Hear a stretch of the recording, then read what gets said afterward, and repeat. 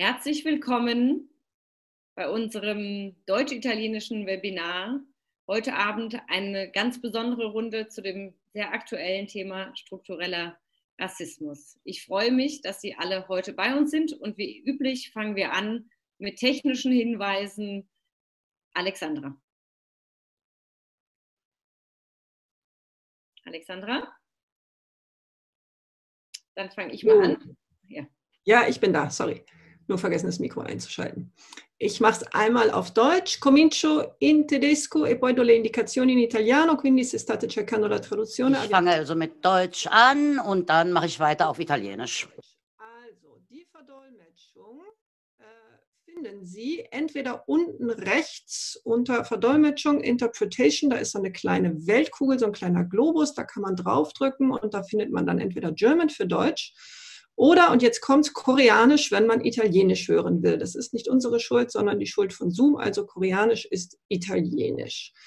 Ähm, man kann dann entweder eine der beiden Sprachen hören oder natürlich das Original für diejenigen, die beide Sprachen beherrschen. Und das sind ja viele hier unter uns, unter unseren Zuhörerinnen und Teilnehmerinnen. Wichtig ist es, ähm, also Sie haben gleich die Möglichkeit, nach den ersten Wortbeiträgen auch selber Fragen zu stellen, und zwar entweder schriftlich. Dazu haben Sie die Möglichkeit, unten auf Q&A zu gehen und da Ihre Frage einzugeben. Die wird dann im Laufe der Diskussion eingebracht.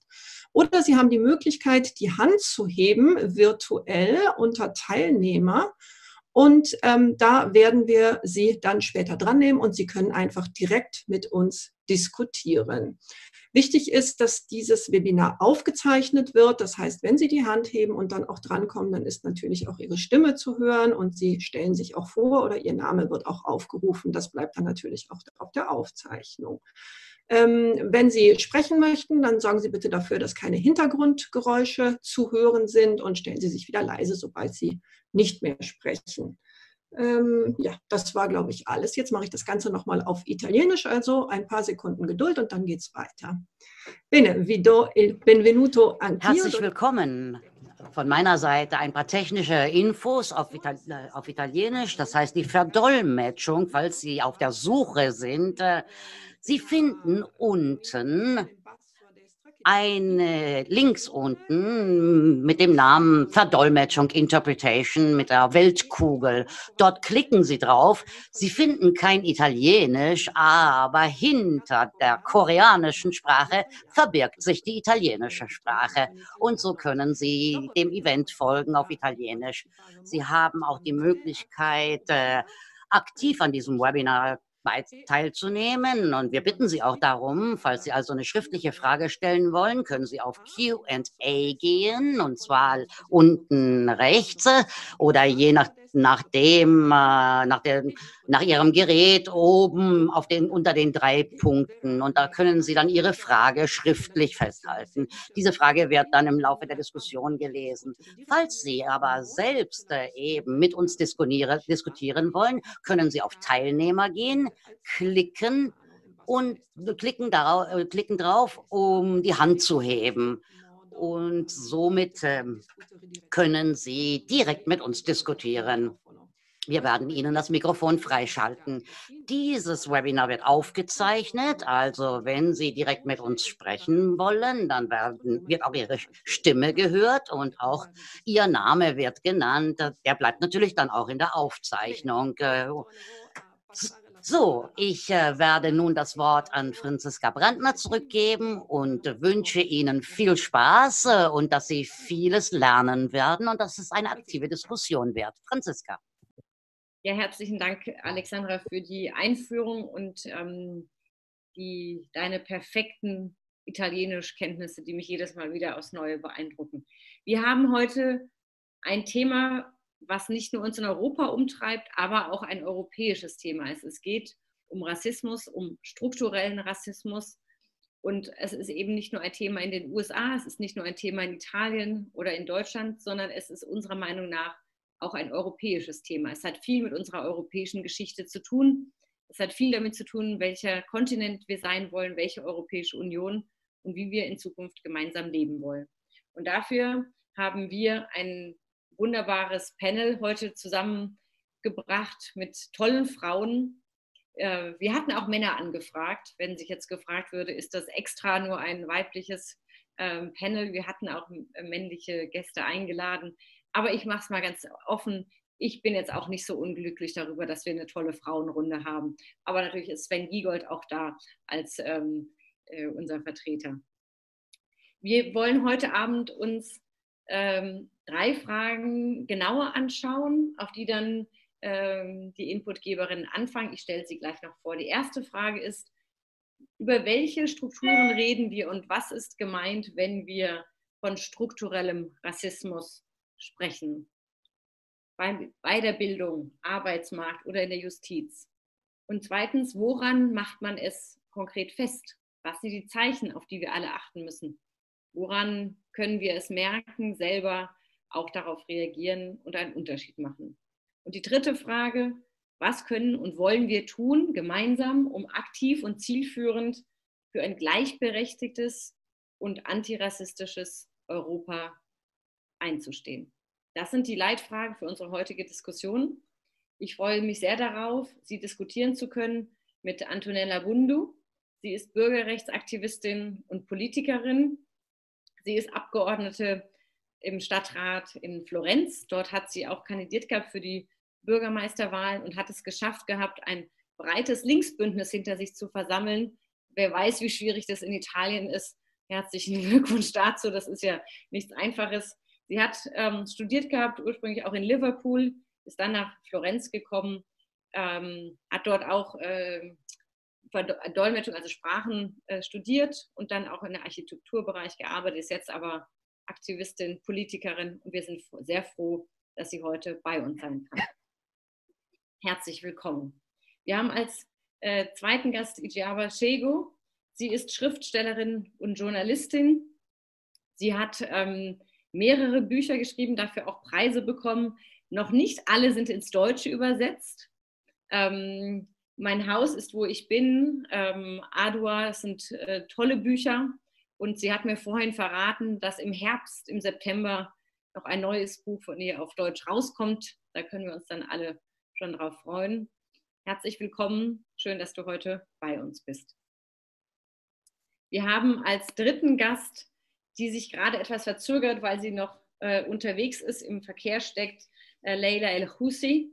Sie ist Professorin für Geschichte des Nahen Ostens an der Universität Padua und sie hat auch viel geforscht zum antifaschistischen Widerstand in Südeuropa. Also hat auch noch diese Perspektive auf. Äh, daher kenne ich sie übrigens ursprünglich von dieser Forschung. Ähm, eine tolle Professorin. Schön, dass sie äh, dann zu uns kommt. So, wir sind am Anfang strikt mit der Zeit, damit wir nachher umso mehr Zeit haben, Ihre Fragen auch noch mit in die Runde aufzunehmen, entweder im Chat oder eben dann auch einzelne in Person. Wir fangen alphabetisch an. Antonella Bundu, ich freue mich sehr auf Ihre einführenden Worte.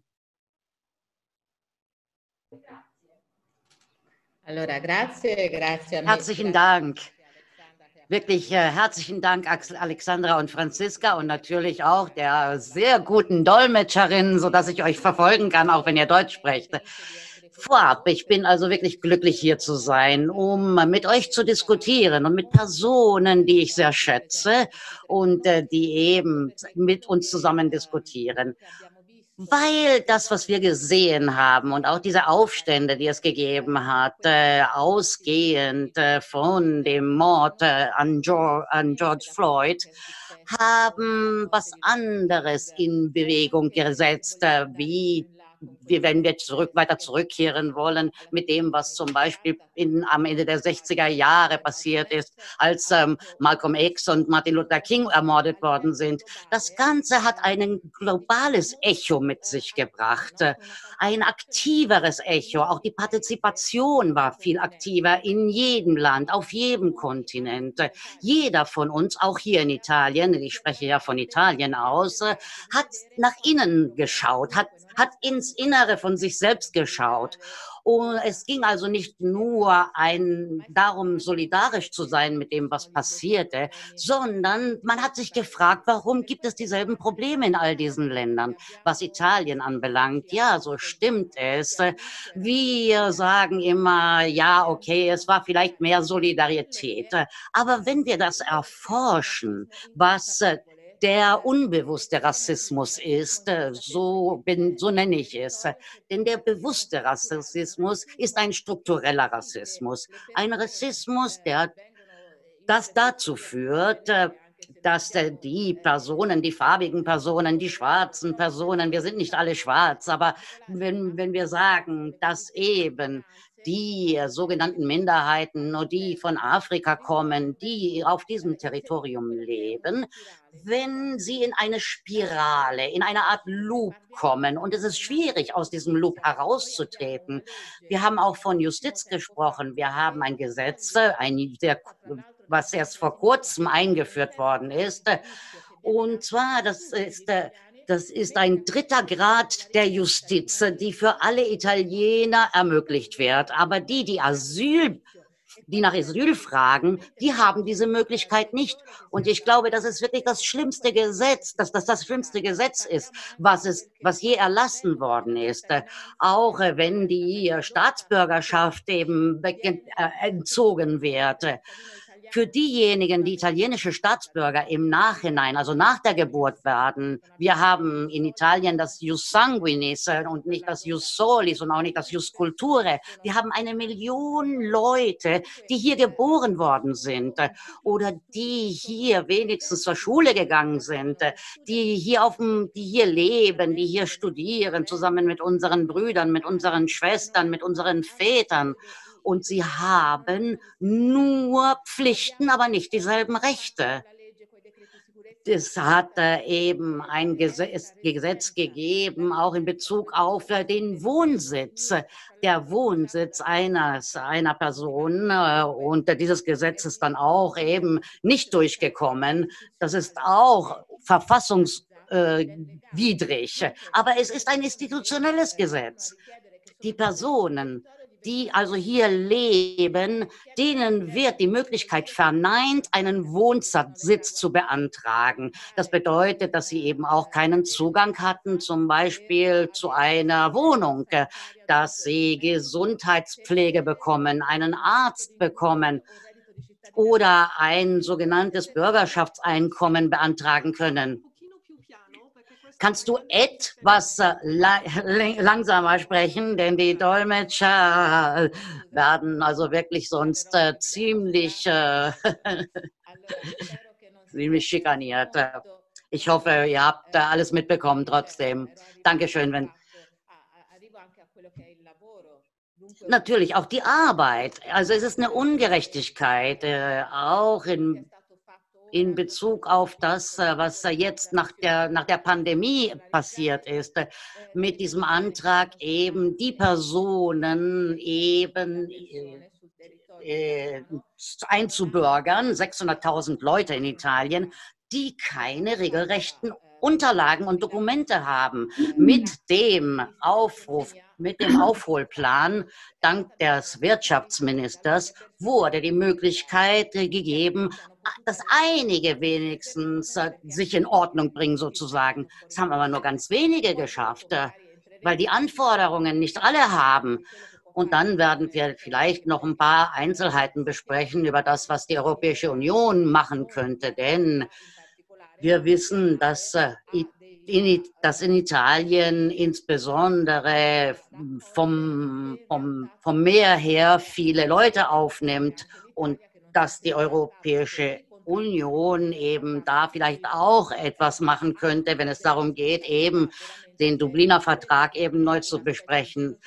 Denn ja, das ist ja eine Art Genozid, was wir im Mittelmeer erleben. Und äh, damit möchte ich im Moment Schluss machen. Ja, herzlichen Dank ähm, für die vielen aufgebrachten Themen und äh, Dimensionen. Ah, Leila äh, ist auch hier. Herzlich willkommen. Äh, schön, dass du weißt. Ich habe ähm, die Vorstellung gerade schon kurz gemacht. Ich hoffe, Sie haben die äh, Übersetzung gefunden. Ähm, Und Sarah Lee Heinrich ist auch jetzt mit uns. Äh, sie ist im Vorstand der Grünen Jugend in Deutschland. Sie studiert Politikwissenschaften und Soziologie in Köln und ist eine starke Sozialrechtsaktivistin, hat da einen starken Fokus drauf und ich freue mich auch sehr, dass sie heute bei uns ist. Ich mache weiter in der ersten Runde ähm, und würde äh, Leila, wenn es für dich schon okay ist, jetzt reinzukommen, sonst ähm, ja, dann äh, Leila El Hussi, schön, dass Sie bei uns sind. Dann vielleicht können Sie Ihren Input geben. Dankeschön. Grazie, grazie. Eh, ja, herzlichen Dank. Ich entschuldige mich äh, für die Verspätung. Ich habe ein paar Probleme gehabt. Denn in diesem Moment der Pandemie des Coronavirus ist immer alles, was auf dem Web passiert, sehr kompliziert. Ich habe also nicht gehört, was Sie anfangs gesagt haben. Aber ich möchte auch äh, etwas äh, zu dem Konzept des Rassismus sagen und zu dem sagen, was die italienische Situation ist im Wesentlichen. Vor allem möchte ich sagen, denn ich bin eine Historikerin, ich lehre Geschichte an der Uni, habe mich immer mit diesen Themen auseinandergesetzt unter dem geschichtlichen Gesichtspunkt, dem historischen Gesichtspunkt. Und ich lehre auch Geschichte des Nahen Osten und habe auch eine Historiografie erstellt und untersucht, erforscht. Und das ist äh, eine diversifizierte in Bezug auf die verschiedenen Epochen.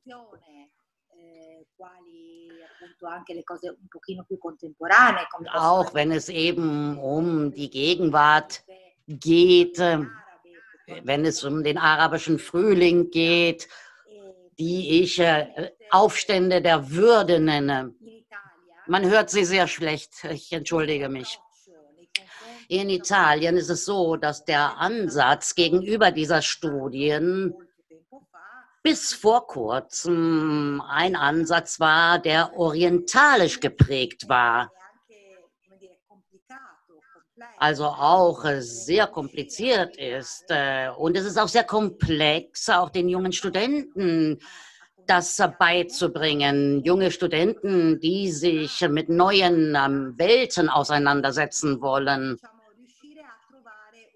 wenn man versucht, eine Art und Weise zu finden, um auf andere Art und Weise das Ganze darzustellen, also nicht auf der Grundlage der Erzählung, äh, auch unter dem historiografischen Gesichtspunkt.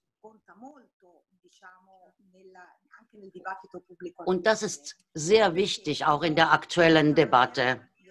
Denn ich bin in Italien geboren, bin in Italien aufgewachsen und obwohl mein Name und Nachname eben arabischer, arabischer Herstimmung sind, aber ich bin in den 70er Jahren auf die Welt gekommen, ich kenne Italien sehr gut.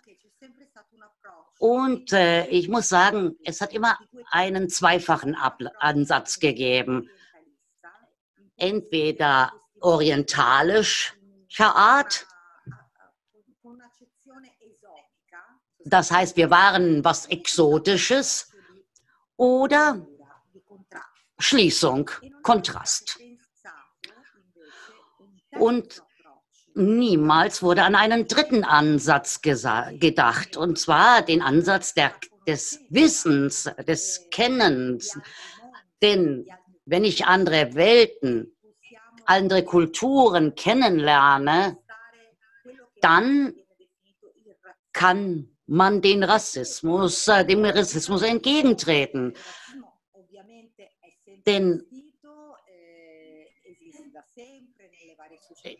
den Rassismus hat es immer gegeben in den verschiedenen Gesellschaften, aber in äh, jeder Zeit, äh, und ich als Historikerin sehe, dass die Modalitäten natürlich andere sind. Und ich muss aber auch sagen, dass der Rassismus äh, heutzutage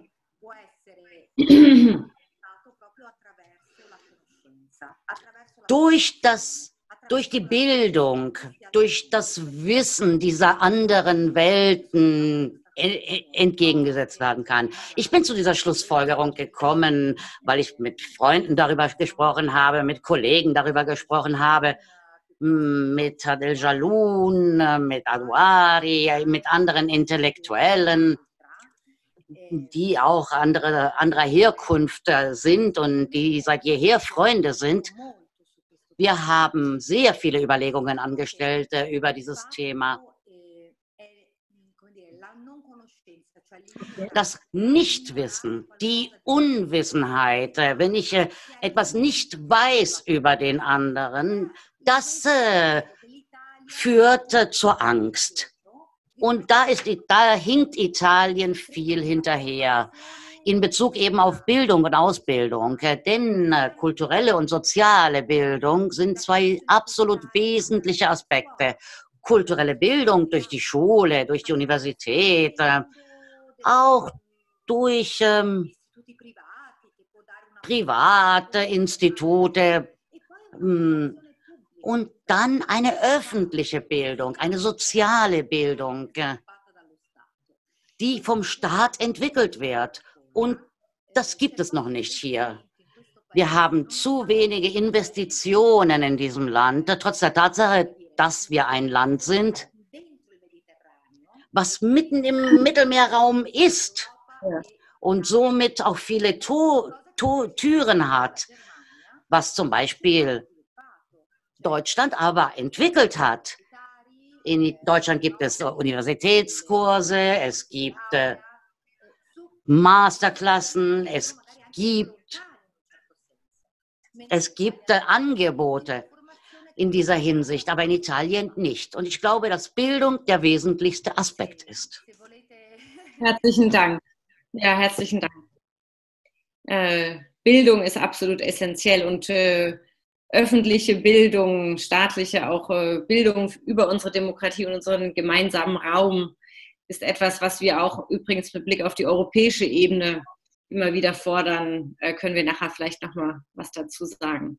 Jetzt aber erstmal Sarah, Sarah Lee Heinrich. Dann ähm, hallo erstmal und äh, sorry, dass mein Internet gerade nicht äh, so gut äh, funktioniert hat, aber ich glaube, jetzt müsste es gehen und ihr versteht mich auch, soweit alle in Ordnung. Ähm, ja, worüber sprechen wir eigentlich, wenn wir über strukturellen Rassismus sprechen? Jetzt gerade auch aufgrund der Black Lives Matter-Proteste merken wir, dass viel mehr in Deutschland darüber diskutiert wird auch. Und wir reden sehr oft darüber, dass Rassismus strukturell ist, aber um ehrlich zu sein, sind die Handlungsperspektiven, die wir diskutieren, sehr oft individuell. Es geht darum, sich zu hinterfragen. Es geht darum, seine Privilegien zu überprüfen. Und es geht auch sehr viel um Sprachgebrauch. Und das ist wichtig, aber alleine keine Lösung.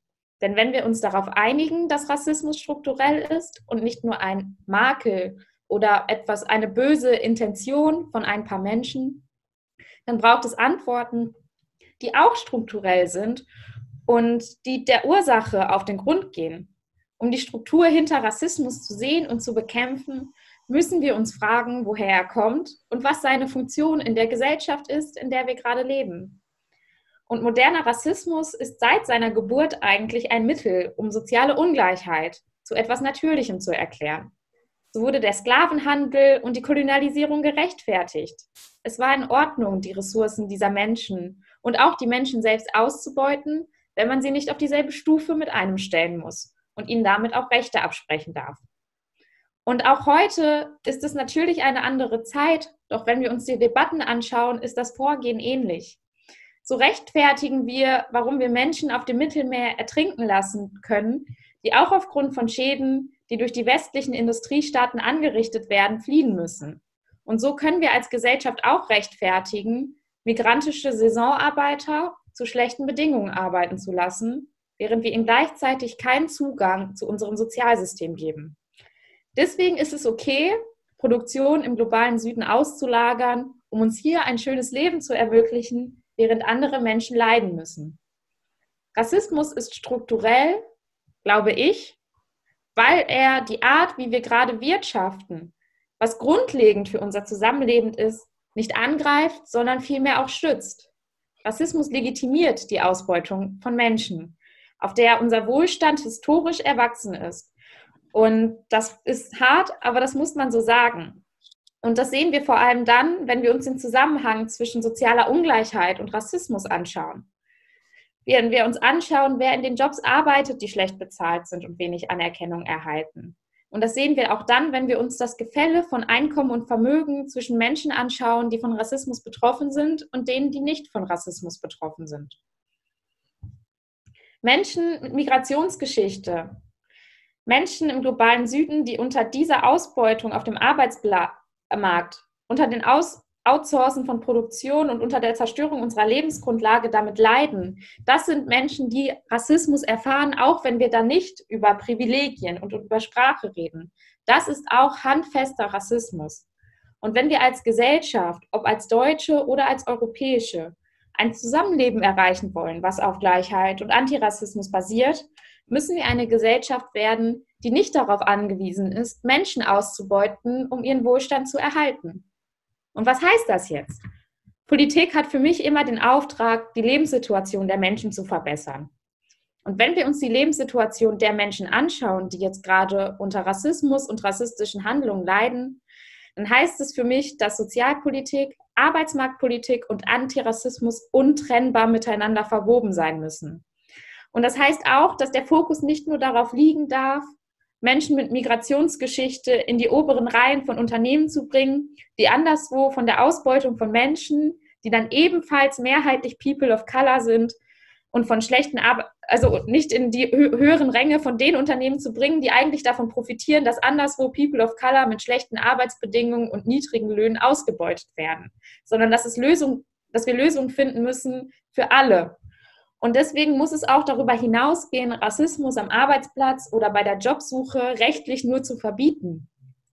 Denn was sagen wir damit? Die Menschen, die von Rassismus betroffen sind, sollen nicht aufgrund von Rassismus ausgebeutet werden. Aber an sich ist diese Art von Ausbeutung in Ordnung. Es muss daran es muss uns, wenn wir gegen Rassismus kämpfen, auch immer darum gehen, Ausbeutung zu verunmöglichen, für höhere Löhne, Arbeitsre Arbeitsrechte und ein Sicherheitsnetz für alle zu streiten. Und das ist gerade auch im internationalen Rahmen ein sehr, sehr großes Thema, denn wir können uns natürlich an unserem Wohlstand erfreuen, wenn wir anderen Menschen keine soziale Rechte zu, äh, dafür keine sozialen Rechte zuschreiben müssen.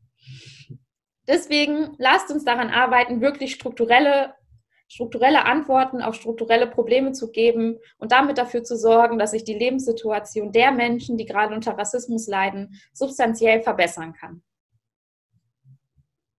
Herzlichen Dank, äh, Sarah. Ich sehr herzlichen Dank für deine Worte, die es auch nochmal gebreitet haben auf außerhalb Europas. Vielleicht für die Erklärung für die italienischen Zuhörerinnen und Zuhörer. Wir haben gerade in Deutschland eine große Debatte über die Ausbeutung osteuropäischer Arbeitskräfte in unserer Fleischindustrie. Ähm, das ist der aktuelle Fokus. Wir haben aber auch unzumutbare Zustände für die Lkw-Fahrerinnen, für in der Logistikbranche, teilweise in der Pflegebranche, im Baugewerbe, in der Saisonarbeit. Äh, wir leben in Deutschland sehr stark auch davon, dass osteuropäische Arbeitskräfte bei uns nicht den Lohn bekommen, der ihnen eigentlich zusteht und nicht die Lebensbedingungen, die ihnen eigentlich zustehen. Das vielleicht nur als Information oder Erklärung nach Italien, weil ich glaube, das ist gerade eine sehr aktuelle und sehr, sehr wichtige Debatte in Deutschland. Und sie hat auch etwas mit Ausbeutung zu tun. Jetzt habe ich als letzte in dieser Runde Ijava Shego. Ich freue mich, dass du dabei bist und deine ersten Gedanken mit uns teilst.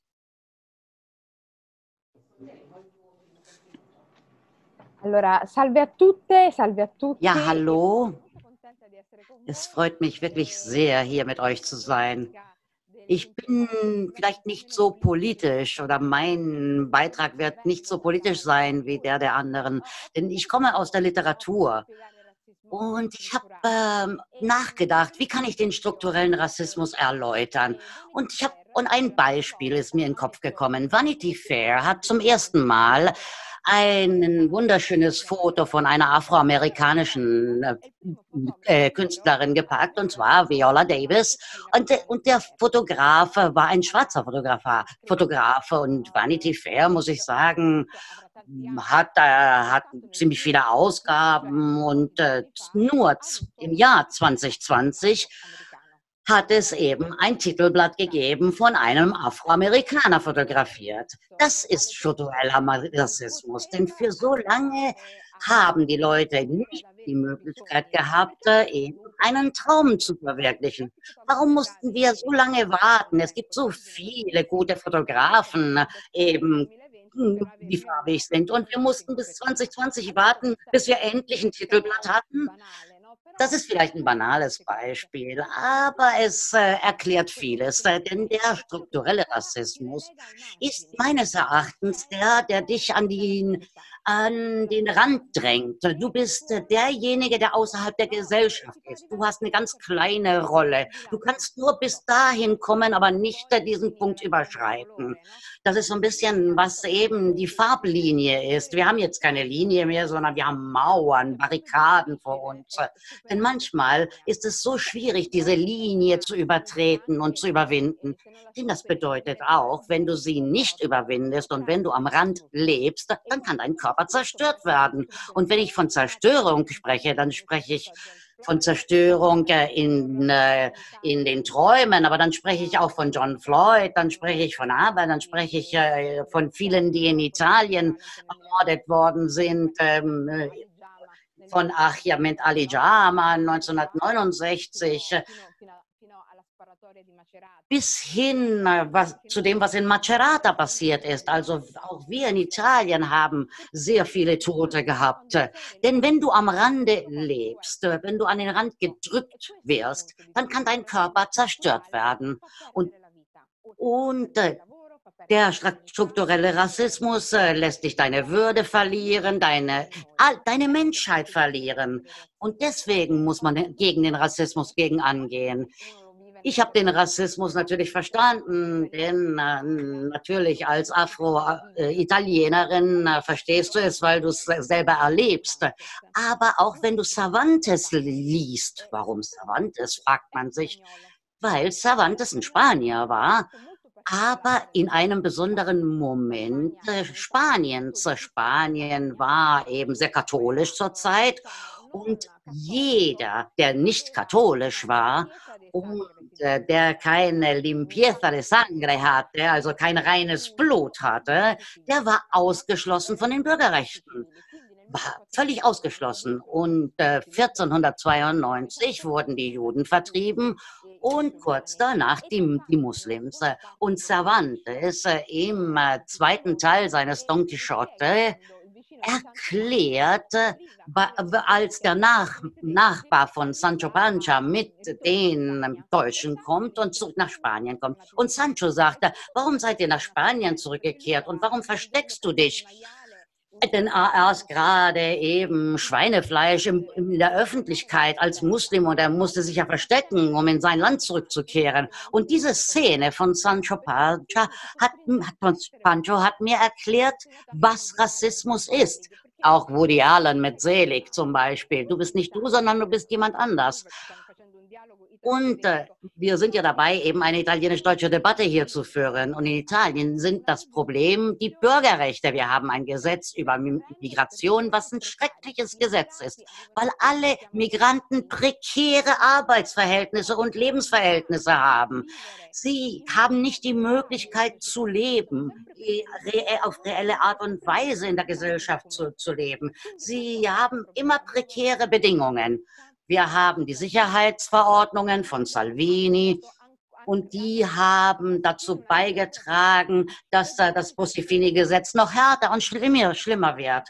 Und wir haben kein Gesetz eben für die Staatsbürgerschaft von, den, von unseren Kindern. Ich, äh, bin, ich bin 46 Jahre alt, bin hier aufgewachsen, aber meine Generation, aber auch die, die vor mir da waren, die Kinder, die Jugendlichen, die leben als Ausländer in ihrer Nation. Unabhängig von der, von der Hautfarbe, denn das äh, bezieht sich auf alle Migranten aus Osteuropa, aus Marokko, aus den Philippinen, aus Peru. Die, werden nicht als Italiener angesehen, obwohl sie Italiener sind. Denn die sind wirklich de facto, sie sprechen Dialekt, sie gehen zur Schule, aber wenn sie 18 werden, dann werden sie zu Ausländern. Und das ist das italienische Problem. Und wenn ich das erzähle, auch im Ausland, dann glaubt man mir nicht. Aber es ist eine Schande. Und keine Partei, keine Regierung hat in Italien jemals was da, dafür getan. Eine Minute noch. Denn ich habe hm, das folgendermaßen erklärt. Denn wir leben in einem wunderschönen Land. Warum haben wir keine Staatsbürgerrechte, weder für die Ausländer, die hierher kommen, noch für die Leute, die hier geboren werden? Eine Freundin von mir sagte, ich bin doch gar nicht migriert. Vielleicht äh, habe ich Viertel gewechselt in Mailand. Warum ist Italien also so? Und warum ist Europa so? Denn wir haben eben die Kolonialgeschichte, die und die Geschichte des italienischen Kolonialismus äh, hat dazu geführt, dass die Leute eben manche Leute als äh, als Ware ansehen und dann haben wir auch die Geschichte Italiens auf der anderen Seite, denn wir haben den Kolonialismus und dann haben wir die italienische Migration. Wenn wir die europäische Landkarte anschauen, dann ist Italien eine Brücke zwischen Europa und Afrika. Aber Italien weiß das nicht und das ist das Problem. Man, man meint, man muss sich an, dieses, an diese Brücke hängen, denn sonst äh, fällt Europa zusammen. Es ist ein psychologisches Problem. Italien hat Angst, als schwarz angesehen zu werden. Aber Italien ist auch schwarz. Die Italiener sind nicht alle weiß. Und äh, die haben also die Weisheit gesucht. Und das ist das Problem Italiens. Eine Weisheit, die es nicht gibt, wie Neda richtig gesagt hat, die ist im Mittelmeer. Und das bedeutet, äh, Kreolen zu sein, das bedeutet, Mischlinge zu sein. Und wenn Italien das jemals verstehen wird, dann wird Italien auch Europa behilflich sein können in dieser Hinsicht. Hm. Ja, herzlichen Dank. Das war nochmal eine gute Minute. Herzlichen Dank für die ähm, Gedanken. Ich würde jetzt ein paar ähm, Punkte aus äh, den schriftlichen Fragen aufnehmen. Es gab auch nochmal Rückfragen mit Blick auf das Thema von heute Abend, warum wir nicht äh, über Diskriminierung an sich sprechen. Und wir sind uns sehr wohl bewusst, dass Diskriminierung meistens in mehrfacher Hinsicht passiert. Also dass man meistens aufgrund mehrfacher ähm, Eigenschaften auch diskriminiert wird und das selten ein einziges ist. Und dass wir natürlich an sich gegen Diskriminierung kämpfen, egal aus welchem Grund jemand diskriminiert wird, wen er liebt, wie er aussieht, an wen er glaubt, an wen er nicht glaubt. Ähm, dass wir kämpfen da generell, wo, wo er herkommt, auch soziale Herkunft. Äh, aber wir glauben trotzdem, dass es auch wichtig ist, ab und zu sich einzelne Diskriminierungsmerkmale herauszunehmen und sie zu bearbeiten. Und da ist das Diskriminierungsmerkmal, über das wir heute Abend sprechen, einfach eines, was für uns auch sehr wichtig ist. Aber wir sehen das als Gesamtansatz absolut. Äh, die Frage kam in der Runde. Ähm, da haben Sie recht, es gibt äh, Diskriminierung. Und wir brauchen deswegen auch einmal einen sehr differenzierten Blick darauf, was genau jetzt gerade passiert, um gute Antworten finden zu können. Und es gab noch die Bitte von Herrn Lautenschläger, nicht zu polarisieren, niemanden an den Rand zu drängen.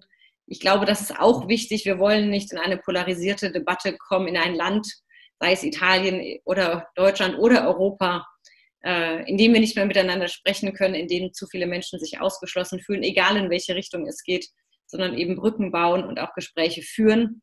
Äh, da haben Sie recht. Aber andererseits muss man natürlich auch dort, wo Rassismus stattfindet, ihn auch klar so bezeichnen und benennen können. Jetzt, äh, es gab ein paar Fragen. Äh, wundern sich nicht, wenn ich jetzt das ablese, weil ich auch mir nicht alle auswendig merken konnte. Ähm, es gibt eine Frage an Antonella Bundu. Äh, und zwar geht es um eine ihrer äh, äh, Beiträge in der Zeitschrift L'Espresso, ähm, dass Leute, Menschen, die gehört werden sollen, nicht genug gehört werden. Wie, also kann ich, Italienerin, ähm, mit Blut, das ist in Anführungsstrichen definiert, ich glaube, sie macht das selbst sehr kritisch, denen, die diskriminiert werden, denen, die versuchen, Italiener oder Europäer zu werden, einschließlich der zweiten Generation, helfen, das Wort zu ergreifen. Anders ausgedrückt, wie können wir sicherstellen, dass diejenigen, die nicht bei der Abstimmung schon noch nicht teilnehmen dürfen, Druck auf diejenigen ausüben können, um die Gesetze zu verändern. Das war eine Frage explizit an Frau Bundu. Ähm, dann gab es eine Frage mit Blick auf äh, internationalen Schüleraustausch, inwieweit man das verpflichtend machen könnte. Ich glaube, das bezieht sich auch auf den Aspekt von Leila El-Hussi mit Blick auf Lernen, Angst abbauen ähm, zwischen eben unterschiedlichsten Ländern äh, dieser Welt. Und äh, dann die Frage vielleicht an Sarah Lee, nationale Haushalte müssten darauf eingestellt werden und garantieren, dass niemand zurückgelassen wird. Ähm, das ist dann ein Aspekt, ein sorgenfreies Grundeinkommen, ein Leave No One Behind Gemeinschaft gewährleisten. Ähm, wie könnte man das umsetzen? Wie würde deiner Meinung nach eine Gesellschaft ausschauen, in der die soziale Benachteiligung äh, bekämpft wird? Das sind schon mal die ersten Fragen. Ich glaube, das ist schon mal genügend Stoff. Ich gucke noch mal in den Chatraum rein. Ähm, es gab noch eine Frage an Frau Heinrich. Äh, kann ein europäisches Lieferkettengesetz ein sinnvoller Ansatz gegen strukturellen Rassismus sein? Gibt, und dann eine Frage an die italienischen Kolleginnen, gibt es eine Debat Debatte über ein Lieferkettengesetz eigentlich auch in Italien? Bei uns wird diese Debatte geführt. Es geht darum, dass man nachverfolgen kann, wo die einzelnen ähm, Elemente eines Produktes, was wir am Ende kaufen, wo und wie sie hergestellt wurden. Äh, und das ist das verbirgt sich hinter Lieferkettengesetz. Ähm, und dann eine Frage von Frau Eder Lehfeld, inwieweit es vielleicht helfen würde, eine europäische Staatsbürgerschaft zu haben, unter Einbeziehung der nationalen Bürgerrechte und die nationale vielleicht schon eine Ebene zu klein ist. Soweit erstmal. Ich würde äh, sagen, wer möchte anfangen? Sarah Lee? Einmal in die Runde. Ah, ah, also ah. Antonella kann auch gerne beginnen. Also Oder Antonella. Machen wir es wieder alphabetisch. Antonella, gerne.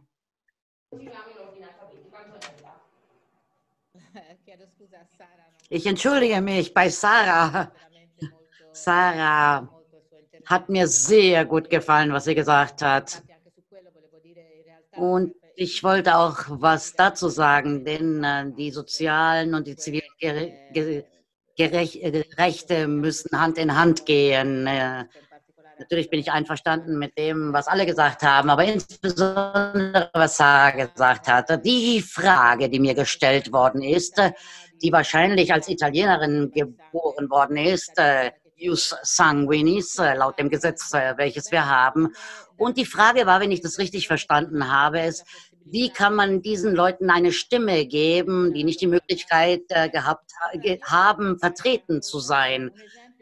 Ich wollte ein Beispiel äh, anführen. In Italien haben wir einen Prozentsatz statistisch gesehen an Personen auf dem Territorium, die ausländischer Herkunft sind äh, und die sind 8,9 Prozent circa. Ich spreche von Florenz aus. Im äh, Zentrum Nord liegt dieser Prozentsatz bei 11, also Ausländerprozentsatz auf dem Territorium.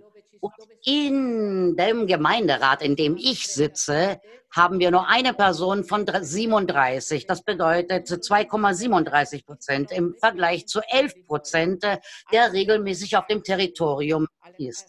In den Gefängnissen in Florenz zum Beispiel, wenn, auch wenn man nur die Statistiken liest, ist es, sind es 62 Prozent an Ausländern. Was bedeutet das? Nicht, dass sie mehr eben Delikte haben oder, oder, oder machen.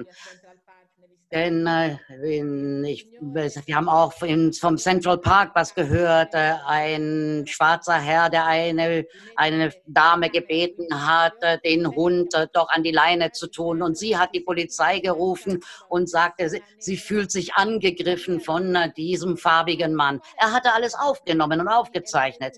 Wo liegt also das Problem? Das Problem liegt in der Kriminalisierung der Personen und eben wie man sie vertreten kann. Die sogenannten Migranten, wie auch Ejaba sagte, und äh, sie sprach von einer Freundin, äh, die keine Migrantin ist, sie ist hier aufgewachsen, lebt hier, hat keine Staatsbürgerschaft, weil sie angesehen wird als Migrantin. Die Repräsentanz, also die wir geben und auch die, die die Presse uns gibt.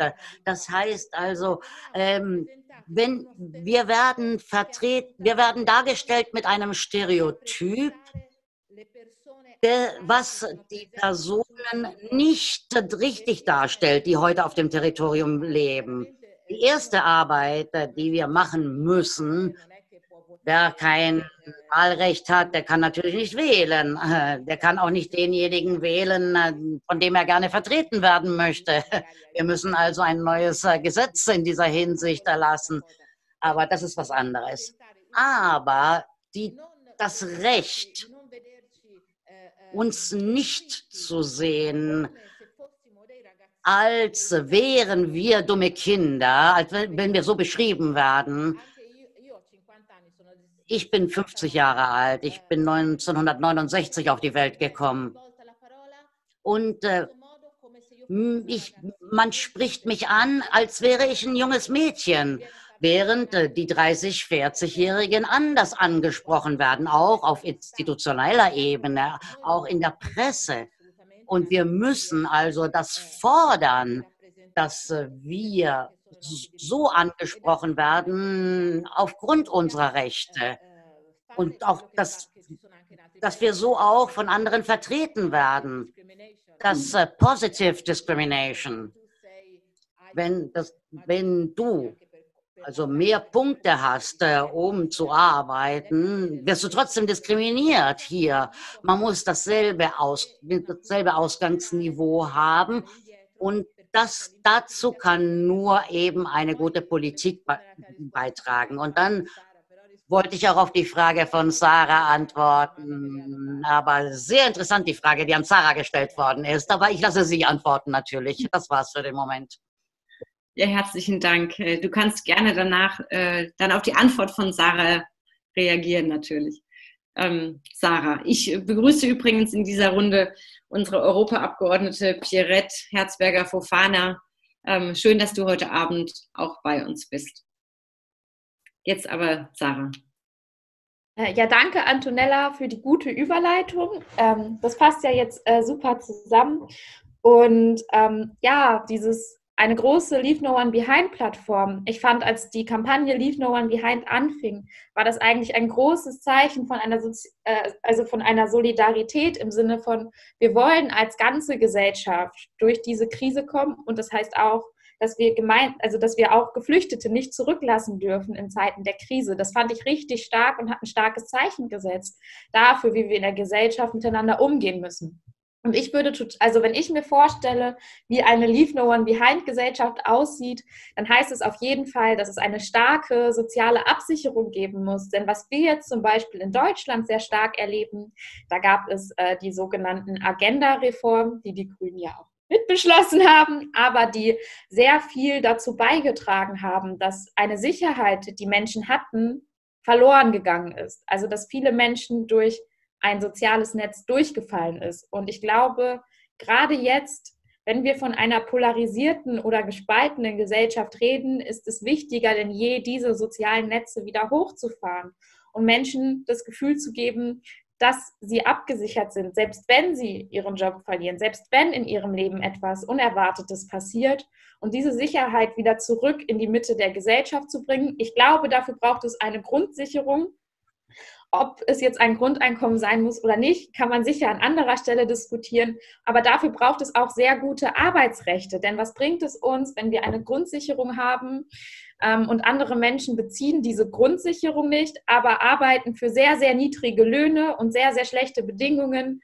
Und deswegen äh, geht es ihnen auch sehr schlecht. Und ich glaube, es ist wichtig, dass wir als Gesellschaft nicht polarisieren, aber uns muss auch klar werden, dass wir da auch in Konflikte kommen und dass es auch erkämpft werden muss.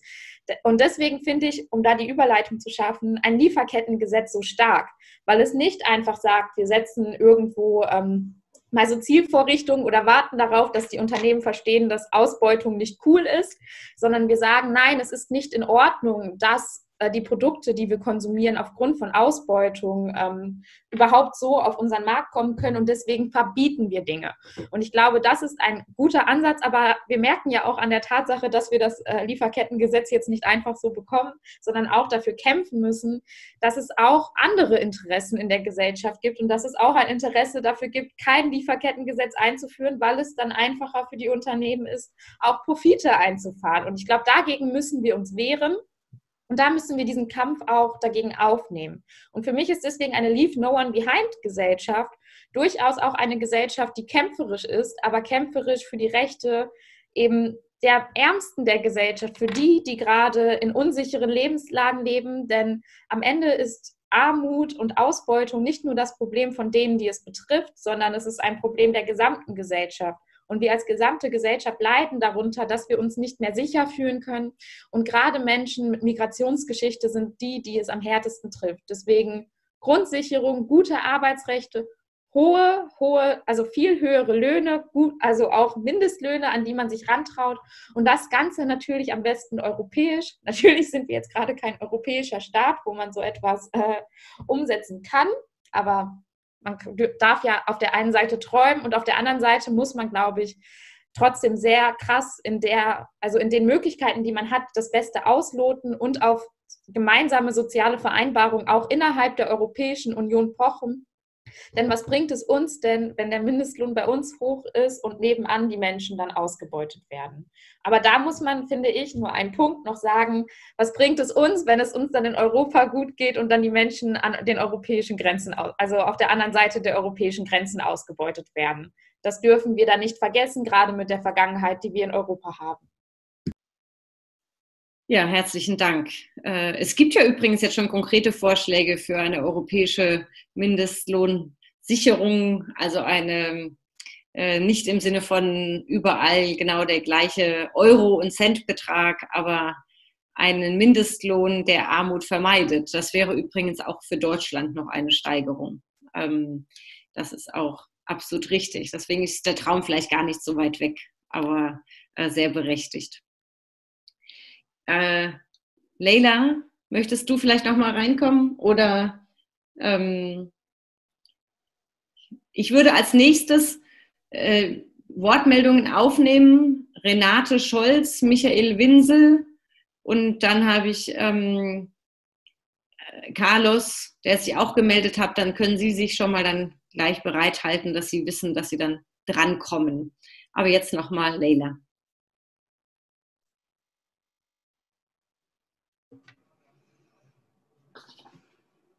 Leider hören wir Leila nicht. Ich glaube, Leila hat ihr Mikrofon nicht an. Leila, kannst du dein Mikro anmachen? Sonst Itiaba.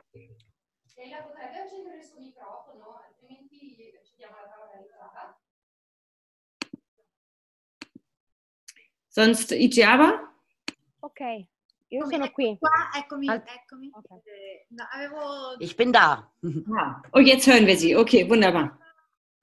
Wir hören sehr starkes Echo. Wenn ich darf, wollte ich eine Überlegung anstellen von dem, was Sarah gesagt hat, von Antonella und Ijaba über Italien. Ich muss sagen, ich bin völlig einverstanden mit dem, was Sie gesagt haben, denn genau wie Antonella und wie Ijaba sind wir Personen, die uns nicht ansehen als äh, die zweite Generation. Was mich angeht, ich bin in diesem Land äh, geboren, also in Italien geboren, bin in Italien aufgewachsen und habe den Rassismus erst als äh, Erwachsene erlebt. Als ich geboren wurde in diesem Land und auch mit meinem Namen und Nachnamen, auch mit einem Vater, der arabischer Herkunft war, ich bin in einer Kleinstadt äh, in Padua, also in Norditalien geboren, muss ich sagen, dass ich nicht darunter gelitten habe, unter dem, also als Kind unter Rassismus gelitten habe. Wie, so wie, wie das später der Fall war. Wann ist es passiert? 2001, genau. Als äh, die Twin Towers. Äh, denn da hat sich was verändert. Es hat äh, eben eine Art Kurzschluss gegeben.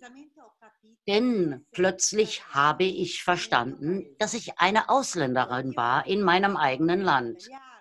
Ich spreche perfekt Italienisch, ich spreche sogar Dialekt äh, aus Venetien. Ich bin in diesem Land, wie gesagt, zur Welt gekommen, bin hier zur Schule gegangen und nach 2001, ich will nicht sagen sofort,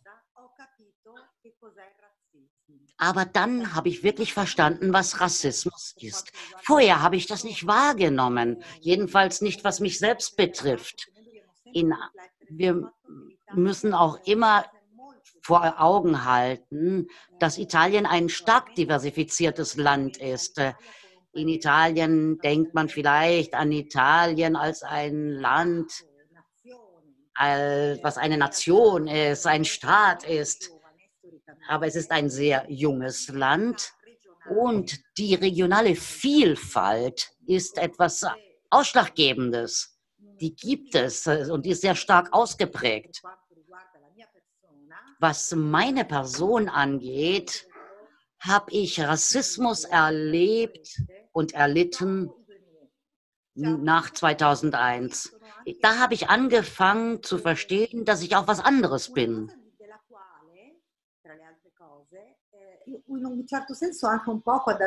in Auch als ich jünger war, habe ich mich ein bisschen damit geprotzt auch. Ich habe mich ein bisschen angegeben, weil ich die, Neugierde um mich herum äh, erlebte. Denn ich hatte ja diese doppelte Angehörigkeit oder Zugehörigkeit. Und nach 2001 haben dann auch Freunde mich anders angeschaut. Und so habe ich meinen Wegegang begonnen, habe auch meine kulturelle Arbeit begonnen in Bezug eben auf diese Themen, weil ich es äh, selbst erlebt habe. Ich war mir plötzlich bewusst, inwieweit ein Event unsere Gesellschaft völlig verändern kann eine Gesellschaft, die vorher neugierig war und sich dann völlig ändert.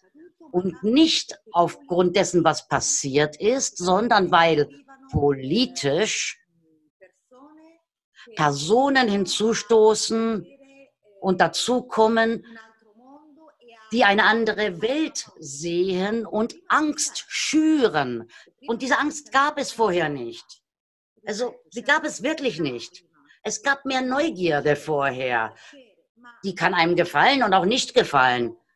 Aber du fühltest dich Teil der Gruppe jedenfalls. Und danach, nach diesem Event, ver verändert sich das Ganze. Und das hat zu einem System geführt, was mein Land hierzu gebracht hat. Ich möchte noch mit etwas enden. Es tut mir sehr leid, wenn ich äh, lehre. Mir tut es sehr leid, dass ich sehr viele Studenten habe, die in meiner selben Situation sind. Das heißt, sie haben ausländische Eltern oder ein Elternteil, der aus dem Ausland kommt und die heute, wie Igiaba sagte, die haben kein Recht auf Staatsbürgerschaft und fühlen sich Ausländer im Land, in dem Sie auf die Welt gekommen sind. Und das tut mir leid. Sie haben keine Rechte, Sie können sich nicht ausdrücken, Sie können nicht wählen und sind hier aufgewachsen und hier, sind hier zur Welt gekommen oder hier aufgewachsen. Ja, ja herzlichen Dank. Ähm, es gab jetzt nochmal die, ich glaube, Sie haben es äh, erklärt mit 2001, das waren die 9-11, die äh, Twin Tower, die Attacken und danach ähm, die generelle äh, Angst, die geschürt wurde vor muslimischen Terroristen, aber es wurde eben ausgeweitet in einzelnen Ländern und Bereichen auch auf alle, die äh, muslimischen Glauben waren. So, jetzt Ijaba. Möchtest du noch kurz etwas nehmen und dann kommt äh, Michael dran, dann Pierrette, Carlos. Dann nehmen wir gleich ein paar kurze Statements, Fragen von Ihnen dran. Okay. Allora, eh, quello che diceva Sara Lee era molto interessante. Was Sarah Lee sagte, war sehr interessant. Also das, äh, was sie über die Lieferkette gesagt hat. Und als Sarah Lee sprach, habe ich gedacht, äh, wie wichtig es doch für Europa wäre, Netzwerke aufzubauen. Zum Beispiel in Italien haben wir einen Gewerkschaftler aus Afrika, der heißt Bukasha Almoro und der wirklich sich dafür einsetzt, der sich, der kämpft gegen den Caporalato, also gegen diese illegalen Landarbeiter. Denn da gibt es natürlich Ausbeutung der Arbeit. Da gibt es die Mafia, die die Arbeiter ausbeutet. Und jedes Mal, wenn wir Tomaten kaufen, die billig sind, dann wissen wir, dass in diesen Tomaten Sklavenarbeit äh, drin ist. Also wie wichtig ist der Verbraucher? Wie wichtig ist es äh, zu wissen, was in den verschiedenen Teilen Europas passiert? Die Aktivisten, die Gewerkschaftler, die Politiker, die sich damit beschäftigen, müssen Netzwerk machen, müssen mehr Netzarbeit machen. Das, was in Europa vielleicht fehlt, ist eben diese Möglichkeit, sich in ein Netz zusammenzuschließen. Das sehe ich in Italien. Da gibt es auch noch, äh, da, da, schaut man auch noch wenig auf Europa als Möglichkeit und man schaut eher auf Europa als Problem. Darf ich dir gerade noch eine Frage mit dazu auf den Weg geben, ähm, in? Und zwar eine Frage an dich, inwieweit bei den, ähm, bei den Lösungen gegen strukturellen Rassismus man unterschiedlich mit Blick auf Männer und Frauen vorgehen sollen und dann eine Frage, die ich kaum verstehe, aber die, glaube ich, in einem italienischen Kontext interessant also sich erklärt, und zwar um die Debatte von Summa Horo in Italien zu organisierten Volksstaaten mit Blick auf die Lieferketten, weil du auch gerade eben noch mal über Lieferketten sprachst. Vielleicht kannst du uns kurz erklären, was die Debatte um Volksstaaten ist, äh, organisierte Volksstaaten und was du davon hältst. Ah, sì. Allora, ich glaube, dass Sumoro eine Riesenressource ist für Italien und auch für Europa, weil er wirklich äh, Kämpfe vorantreibt und auch im Mainstream. Und das ist sehr wichtig. Er ist ein guter Kommunikator, er ist ein guter Gewerkschaftler. Denn das, was uns öfters fehlt, wenn wir von strukturellem Rassismus in Italien sprechen, und man braucht nur vor die Türschwelle gehen, um das zu merken. Denn unser Problem, das Problem in unserem Land, ist, dass es nicht nur an Zivilrechten fehlt, sondern auch die Rechte der Arbeit, der Gesellschaft. Wir ähm, wir haben keine Universitätsprofessoren, die von anders kommen. Wir haben keine Lehrer, die von woanders herkommen. Unsere Welt ist all white. Und wer nicht white ist, äh, ist, äh, muss immer unterbezahlte Tätigkeiten und Arbeiten ausführen. Und wer es schafft, ist eine Rarität das, was wir in Italien machen müssen, und das äh, kann man dank Europa und mit Europa machen, denn die Probleme sind ja ähnliche Probleme. Ich habe zum Beispiel vor kurzem erfahren, dass, dass Großbritannien nur 25, äh, nur 25 akademische Lehrer hat im Vergleich zu 16.000 Männern. Also es gibt wirklich einen Unterschied der Repräsentanz es fehlen die Körper, die, die Körper wohnen nicht in den Strukturen, die die Gesellschaft vorantreiben kann. Wir brauchen mehr Körper, wir brauchen in der Schule, in der Universität, also überall.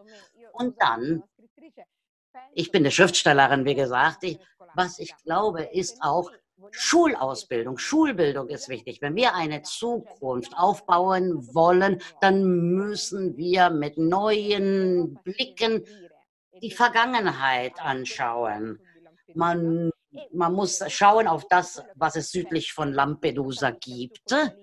Nicht nur Sklaverei, Kolonialismus, die Geschichte Afrikas sie anders erzählen, erzählen in den Schulprogrammen. Und eine weitere Herausforderung ist meines Erachtens folgende, und da könnt ihr vieles tun, ist eben das Problem Mittelmeer. Wir haben ein Mittelmeer.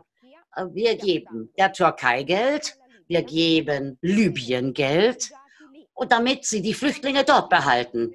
In Lagern, wo sie vergewaltigt werden, wo sie ermordet werden, wo sie, wo sie, wo sie eben mit, mit unserem Geld machen sie das. Und das, wir sind dabei, so viele Leute eben dazu zu bringen. Ich bin aus Somalien und viele viele meiner Verwandten wollten, wollten würden gerne hierher kommen, aber dat, dazu müssen wir eben Schleuser zahlen. Und viele meiner Verwandten sind nicht mit dem Schlauchboot gekommen, sondern mit dem Flugzeug gekommen. Mit einem Visa sind sie angekommen. Warum gibt es kein legales System, um diese, an, diese Reisen anzutreten? Denn wenn wir auf europäischer Ebene dieses Problem nicht angehen, dann schaffen wir es nie. Das ist doch nicht nur das Problem Italiens. Italien ist das erste Land, wo diese Flüchtlinge ankommen, es sei denn, sie ertrinken. Aber in, anstatt die Schleuser oder die Händler, die Mafiosi zu bezahlen, wäre es nicht besser, einen tugendhaften Kreislauf zu bezahlen, sodass jemand aus Sudan herkommen kann denn so wird das auch zu einer Kreis, zu einer, zu einer Kreislaufreise. Mein Bruder hat zum Beispiel in der Nähe von Prag studiert. Er, er ist nach Italien gekommen, dann ist, dann ist er zurück nach Somalien am Ende. Denn, äh, und wir zwingen im Moment die Leute, alle, alle hier zu bleiben. Und die, die Familien sowohl die in der Diaspora als auch die zu, zu Hause, die werden erpresst von diesen, von diesen Menschenhändlern. Also Europa und eine Partei wie eure müsste eben auf legale Einreisen setzen. Das machen wir.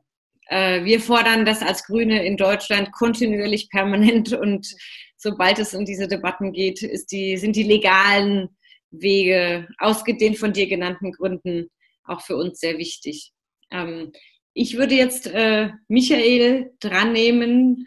Dein Mikro ist offen. Du kannst deine kurze ja. Frage stellen, dein Statement machen. Danke. Ja, hört man mich? Wunderbar. Super. Ja, ich habe äh, da vor allen Dingen erstmal eine Frage. Warum äh, äh, spricht man von Afroamerikanern? Afro-Italienerin ist auch das Wort gefallen.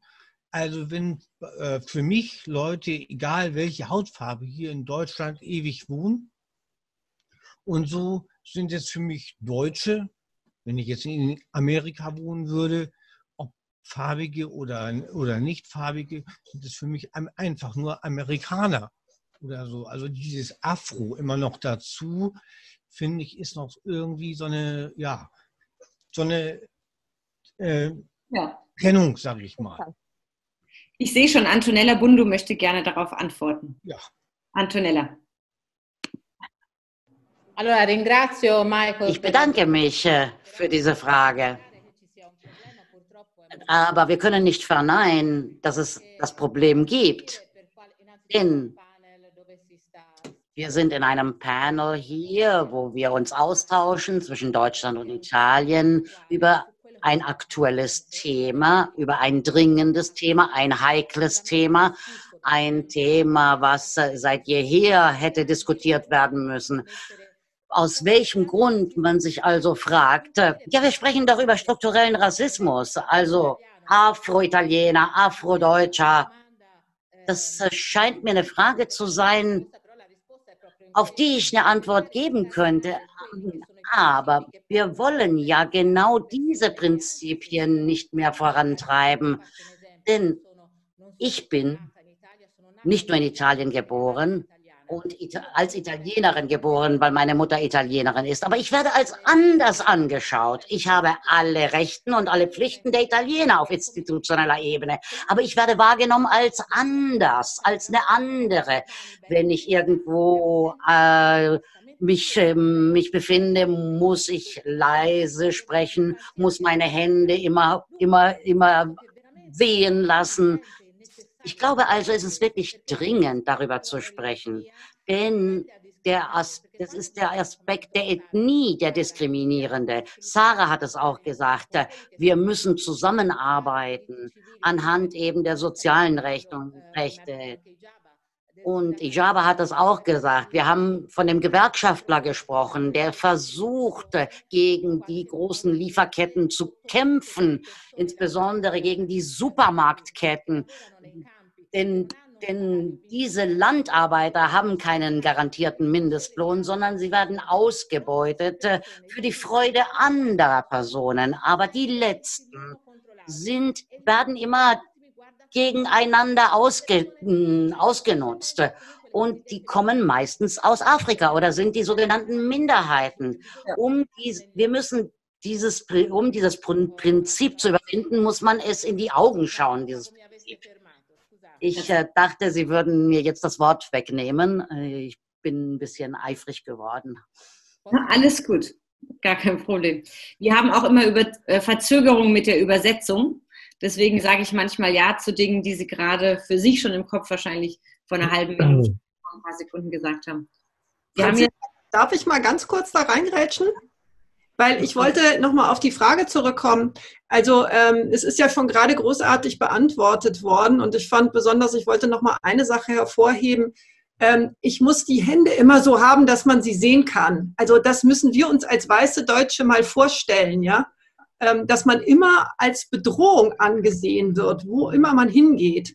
Und ich glaube, wir haben ja gerade auch äh, in Deutschland eine Debatte, ich sage nur das Stichwort Stammbaumforschung, wo es ganz klar ist, dass bei Deutschen, bei denen man irgendwie die Vermutung haben könnte, ihre Eltern oder Großeltern oder Urgroßeltern könnten in einem anderen Leben äh, in einem anderen Land gelebt haben, da wird dann immer weiter nachgeforscht. Das wird eben nicht einfach hingenommen. Wenn nämlich alle Menschen so wären, wie der Herr, der gerade die Frage gestellt hat, dass sie das eben nicht sehen ähm, und auch gar nicht wissen wollen, sondern einfach diese Nationalität akzeptieren, dann hätten wir das ganze Problem überhaupt nicht und dann bräuchte man diese Definitionen auch nicht. Aber genau das ist ja eben überhaupt nicht der Fall und das erleben wir ganz, ganz konkret gerade auch in Deutschland. Das wollte ich nur nochmal hervorheben. Aber es ist natürlich eine interessante Debatte. Es gibt ja sehr unterschiedliche Ansätze, zum Beispiel Frankreich und die USA, die wo gelistet wird und man registriert wird mit seinem Caucasian or African ähm, und damit es natürlich auch immer in dieser Kategorie ist und in Frankreich man ja lange versucht hat, andere Wege zu gehen. Ich glaube, es ist äh, ein, man muss gut äh, umgehen mit den Kategorien und äh, man muss auch aufpassen, dass man den Menschen ihre eigene Selbstzuschreibung lässt. Ich glaube, das ist das Wichtige dabei, dass man sich selber definiert als das auch, was man sein will, wie man gesehen werden auch möchte. Ähm, Pierrette ist uns zugeschaltet. Pierrette, du, dein Mikro ist offen. Wir sehen dich. Herzlich willkommen, Pierrette Herzberger Fofana. Wir hören dich noch nicht. Du musst dein Mikro. Ich habe es angemacht. Ist es an? Jetzt geht's. Hörst du? Also guten Abend zuerst mal. Äh, ich freue mich ganz ehrlich, dass ich sehe, dass junge Frauen, also ich würde sagen Schwesterchen alle, sich da engagieren. Alles, was ich höre jetzt, habe ich es 40 Jahre lang gehört. Und äh, vorher, ich glaube, das ist die Antonella, die gesagt hat, man wird immer wie ein kleines Kind. Ja, ich sage ganz einfach, die Polizei sagt ganz offiziell, die belgische Polizei, ich hätte mich wie ein kleines Kind äh, benommen. Ist das nicht ungeheuer in meinem Alter, dass jemand sagt, also eine Instanz, ja, das ist doch die Polizei, Polizei, was die Polizei mir vorwirft, dass ich mir wie ein kleines Kind. Wie denn? Warum denn? Nur weil ich gesagt habe, sie dürfen mich nicht duzen. Das ist doch mein Recht, oder? Und irgendjemand, also ein Polizist auch, darf mich nicht duzen. Und das ist, was er bezeichnet mit äh, ich habe mich wie ein kleines Kind und gibt das ganz offiziell, kann es jeder nachlesen, ja, in dieser Anklage der Polizei. Also mein ganz großes Verbrechen ist, dass ich darauf bestanden habe, an dem Tag zu sagen, nein, Sie duzen mich nicht. Das dürfen Sie nicht. Und drei oder viermal. Mhm. Also alles, was äh, vorher gesagt wurde, äh, ja, das ist leider traurig, wenn ich dann feststelle, was 40 Jahre danach, das ist immer dasselbe. Äh, man wird nicht immer akzeptiert. Und vorher, ich glaube, das war die Kjaberkehr, man muss immer mehr haben. Ja, und so bin ich im Genuss von fünf Hochschulabschlüssen von Frankreich und Deutschland, weil das war immer mehr, immer mehr. Beim äh, Lizenz reicht nicht, das ist französischer Abschluss, geht nicht. Also äh, Maîtrise von der Sorbonne Paris, sage ich. Ja? Ich habe von keine, wie man mir unterstellt hat, äh, ich weiß nicht, wieso steht überall, ich hätte in Afrika studiert. Nein, ich habe in Paris und in Deutschland. Nur Abschlüsse. Also Magister, nee, das reicht nicht, wenn Sie nur mal Staatsexamen. Also machen wir dann Staatsexamen. Staatsexamen, erstes Staatsexamen, ja, das reicht nicht, dann müssen Sie zweites Staatsexamen. Hm, okay, mache ich zweites Staatsexamen. Ich rede von Deutschland. Ja? Und wurde ich eingeladen, um mein Referendariat zu machen. Und einen Tag vorher, das wird kein Mensch glauben, aber das ist eine echte Geschichte, bekam ich einen Anruf. Wie wagen Sie, äh, sich zu bewerben, wenn Sie Ausländerin? Ich hatte noch keine deutsche Staatsangehörigkeit. Bei der Bewerbung war doch mein Bild. War mein, mein Bild, mein Geburtsort und alles. Ja, und was passiert? Ja, kommen Sie, man wird äh, sehen, was passieren kann, was wir machen mit Ihnen. Klar, dann habe ich gedacht, weißt du, Pierre, da brauchst du nicht zu bleiben. Das war in Düsseldorf, nirgendwo anders. Weil am ersten Tag sagt der Fachleiter, ja, und die Frau Herzberger hat sich da, äh, er hat nicht das Wort geschlichen, aber so hat sich angehört, ja, äh, hat versucht jetzt mal äh, hier zu kommen, aber das geht nicht, die muss jetzt raus, alle werden vereidigt. Was für ein Gefühl. Ja, ich war jung damals, ja, dass sie, wie viel waren, es waren 300 äh, Referentinnen. Äh, also und sie müssen raus, weil sie sich beworben haben, um einen Beruf zu ergreifen. Ja, nur weil jemand also seine Arbeit im Grunde genommen nicht gemacht hat. Dann war ich an der Universität. Das ist auch dasselbe. Sie bewerben sich und als erstes sagt ihnen, die Studenten werden lachen, wenn sie sie sehen. Ja, wieso denn? Warum sollen sie lachen? Was habe ich denn so komisch? Bin ich schlecht angezogen? Bin ich, was weiß ich? Und das sind immer alles, was Sie erzählt haben, das ist, was ich erlebt habe. Und dann, okay, wenn Sie nur promovieren würde, dann bekommen Sie die Stelle, bla bla bla. Also dann, Pierre, setz dich hin, promovieren. Ja. Und auf einmal, da ist man überqualifiziert. Aber am besten bei der Habilitation, da heißt, war niemand anders als eine Frau, die mir gesagt hat, Sie sind aber sehr ehrgeizig. Warum wollen Sie jetzt mal habilitieren? Und so, das geht immer weiter und weiter. Und so kenne ich ganz viele also zumindest Afrikaner und Afrikanerinnen, die im Genuss von zwei, drei Abschlüsse kommen, nur weil sie immer weiter versuchen. Und am Ende, wo bin ich gelandet, ist nicht äh, negativ. Es hat mich sehr gut gefallen, auch in der Schule. Ja. Wir sind und übrigens stolz, dass du uns jetzt Abgeordnete im Europaparlament bist. Ja, ja gut. Ja. Und um nur um zu sagen, äh, man muss, also es ist zwar traurig, aber man braucht wahnsinnig viel Kraft und immer zu sagen, okay, das will ich erreichen, dann werde ich weitermachen, weil meine Kinder, meine Enkelkinder und so weiter und alles, was Sie erzählt haben, meine Enkelin ist genauso blond wie Franziska, blauäugig, etwas äh, ganz ich würde sagen, also Einschlag, ganz wenig, man merkt ein bisschen, dass sie ein bisschen anders, erzählt mir mit acht Jahren haargenau die gleiche Geschichte. Niemand glaubt, dass unser Vater in München geboren ist. Niemand glaubt, dass wir in Nürnberg geboren sind. Mein Sohn ist in München. Und er sagt, äh, wenn sie mir das gesagt hat, letzte Woche, als sie kam, sie sagt, Mami, mach dir keine Gedanken, weil uns glaubt kein Mensch, dass wir in Deutschland geboren sind. Ich sage, die ist genauso wie du. Ich sage dir mal, die, ja. Und das ich glaube, wir müssen also trotzdem nach vorne schauen ja. und sagen, wir haben eine neue Generation und das freut mich ehrlich, wenn ich sehe, alle diese Leute, die demonstriert haben in München, 5000 und zum ersten Mal, da sind auch die Weißen dabei. Das heißt, wir haben trotzdem, trotz allem, einen Schritt nach vorne gemacht. Ja. Jetzt das Problem ist da und wir werden es lösen. Wir werden bestimmt nicht den Rassismus sofort abschaffen, Aber wenn ich denke an die tausenden Mail, die ich bekommen habe, äh, die Leute merken, das geht nicht so weiter. Wir können nicht so weiterleben. Und Entschuldigung, dass ich so lange rede. Ja, aber äh, ich kann nur sagen, alle, alle zusammen macht ihr weiter. Und ich bin mir ganz, ganz sicher, irgendwann mal werden wir in ein paar Jahren, vielleicht mein Traum, sagen, so dumm waren wir doch mal, ne? Dass eine ganze Gesellschaft an solche Sachen gedacht hat und geglaubt hat. Äh, und die ganze Fragen, woher kommst du, wie lange bleibst du und die, das Anfassen auf Haare und alles sowas, hoffentlich wird eines Tages aufhören. Mhm. Also ich wünsche euch weiter viel Kraft und macht alle weiter. Ich bin ganz sicher, wir werden es schaffen. Das mhm. war's. Herzlichen Dank. Ich habe auch so eine halbe Geheimsprache äh, mit Pierrette. Je dis merci beaucoup. Parce qu'a priori, on se parle toujours en français, voilà. Mais, euh, ganz, ganz herzlichen Dank. Okay, merci. Also viel, viel Glück. Bleib Bravo. Äh, Italienisch kann ich leider nicht, ich kann Französisch. Wir lernen. Dann, gracias. Gracias ist, ist, ist Spanisch, ne? Gracias. Okay. Also viel, viel, viel, viel Kraft und ihr werdet es schaffen. Ganz, ganz sicher. Ja? Ich habe ähm, noch äh, Carlos, der jetzt auch offen hat, wenn er will, noch seinen äh, Wortbeitrag machen kann. Und dann gehe ich noch mal mit ein paar Fragen, auch schriftlichen, in die Runde. Ciao, buonasera, mi senti? Hallo, guten Abend. Könnt ihr mich hören? Ja, sehr gut. Ciao Antonella, ciao Java, ciao Java. Ich heiße Carlos Ojama. Ich komme aus Brasilien, ein Afro-Brasilianer.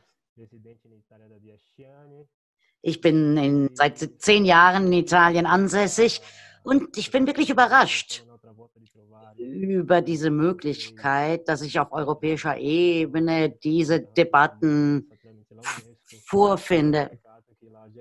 Es ist schade, dass Deutschland ein Land ist, was es noch nicht geschafft hat, eben damit klarzukommen, dass es eben die, die schwarze Bevölkerung gibt. Äh, in Brasilien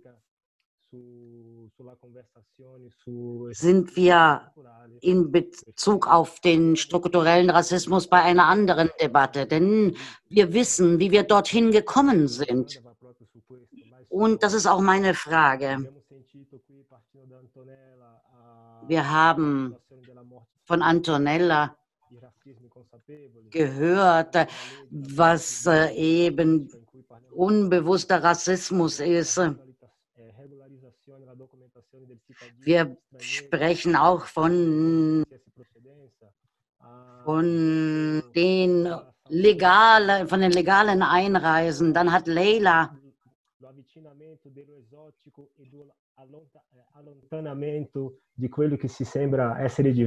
Davon gesprochen, dass eben die, die anders scheinen, eben, eben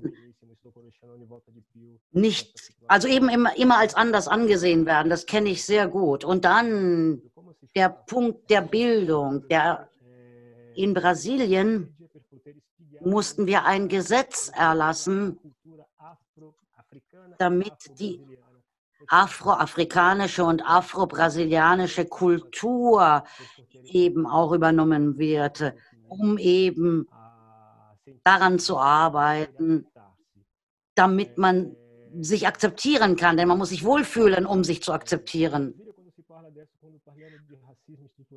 Und wenn wir in Brasilien von strukturellem Rassismus sprechen, dann bedeutet das äh, Diskriminierung und Vorurteil. Das sind unterschiedliche Dinge, die, mit denen man sich auseinandersetzen muss. Denn Rassismus bedeutet eben auch was Wirtschaftliches, äh, denn das bedeutet eben, dass man die, die Selbstschätzung den Leuten nimmt.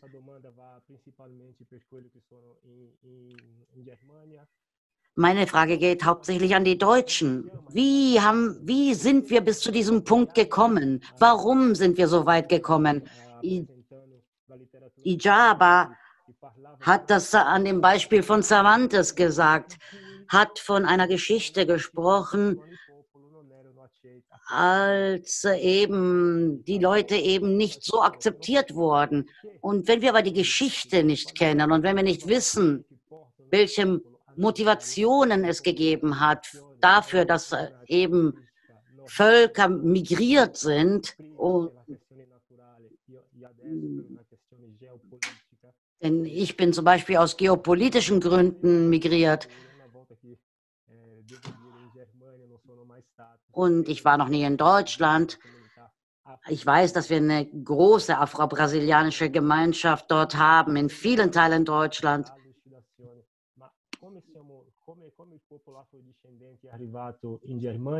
Aber wie sind die, die Afrikaner nach Deutschland gekommen? Aus welchen Gründen? Die Geschichte ist das doch. Das ist wichtig. Herzlichen Dank. Arrivederci. Ja, herzlichen Dank. Nochmal diesen Punkt der, des Wissens, der Geschichte ähm, betont zu haben. Ich habe jetzt eine ganze, also die Frage von Carlos gerade eben, aber auch die Punkte, die vorher waren. Ich liste jetzt noch mal ein paar Fragen aus dem Chat aus und da Antonella äh, Bundu etwas früher zu einem anderen Termin gehen muss, nehme ich, würde ich sie dann rannehmen und dann würde ich gerne von uns Alexandra noch mal reinholen, um, weil auch einige Fragen noch mal mit Blick auf die Grünen spezifisch in Deutschland ähm, gekommen sind. Es gab eine Frage zu Parallelität, Kapitalismus, Rassismus, inwieweit diese zusammengehören und sich gegenseitig ähm, unterstützen, bedingen. Dann gab es einige Fragen mit Blick auf Sprache, Geschichte in Schulen. Wie sieht es in Italien, in Deutschland aus? Wie werden Sprachen aus den Herkunftsländern gelernt? Wird das Sprechen anderer Sprachen gewertschätzt, gut gewährt, also aufgewertet? Dann eben, wie wird über koloniale Geschichte in der Schule gelehrt? Ähm, wie wird auch der Beitrag zum Beispiel afrikanischer ähm, Menschen an der Seite der antifaschistischen Kräfte in Europa, warum, wie, warum wird der nie erzählt? Äh, wie können wir es anfangen, eine neue Geschichte zu erzählen?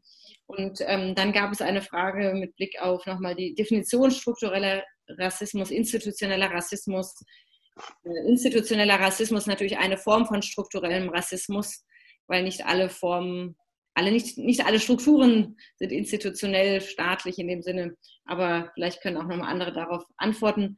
Und dann gab es nochmal eine Debatte, eine Frage auch nach Italien. Wir haben gerade in Deutschland eine durchaus polarisierende Debatte zum Rassismus in der Polizei und die Frage ist, ist das auch ein Thema in Italien? Also ähm, ja, der Umgang der Polizei, wird das bei Ihnen auch thematisiert? Und dann kommen eben die Fragen an uns Grüne.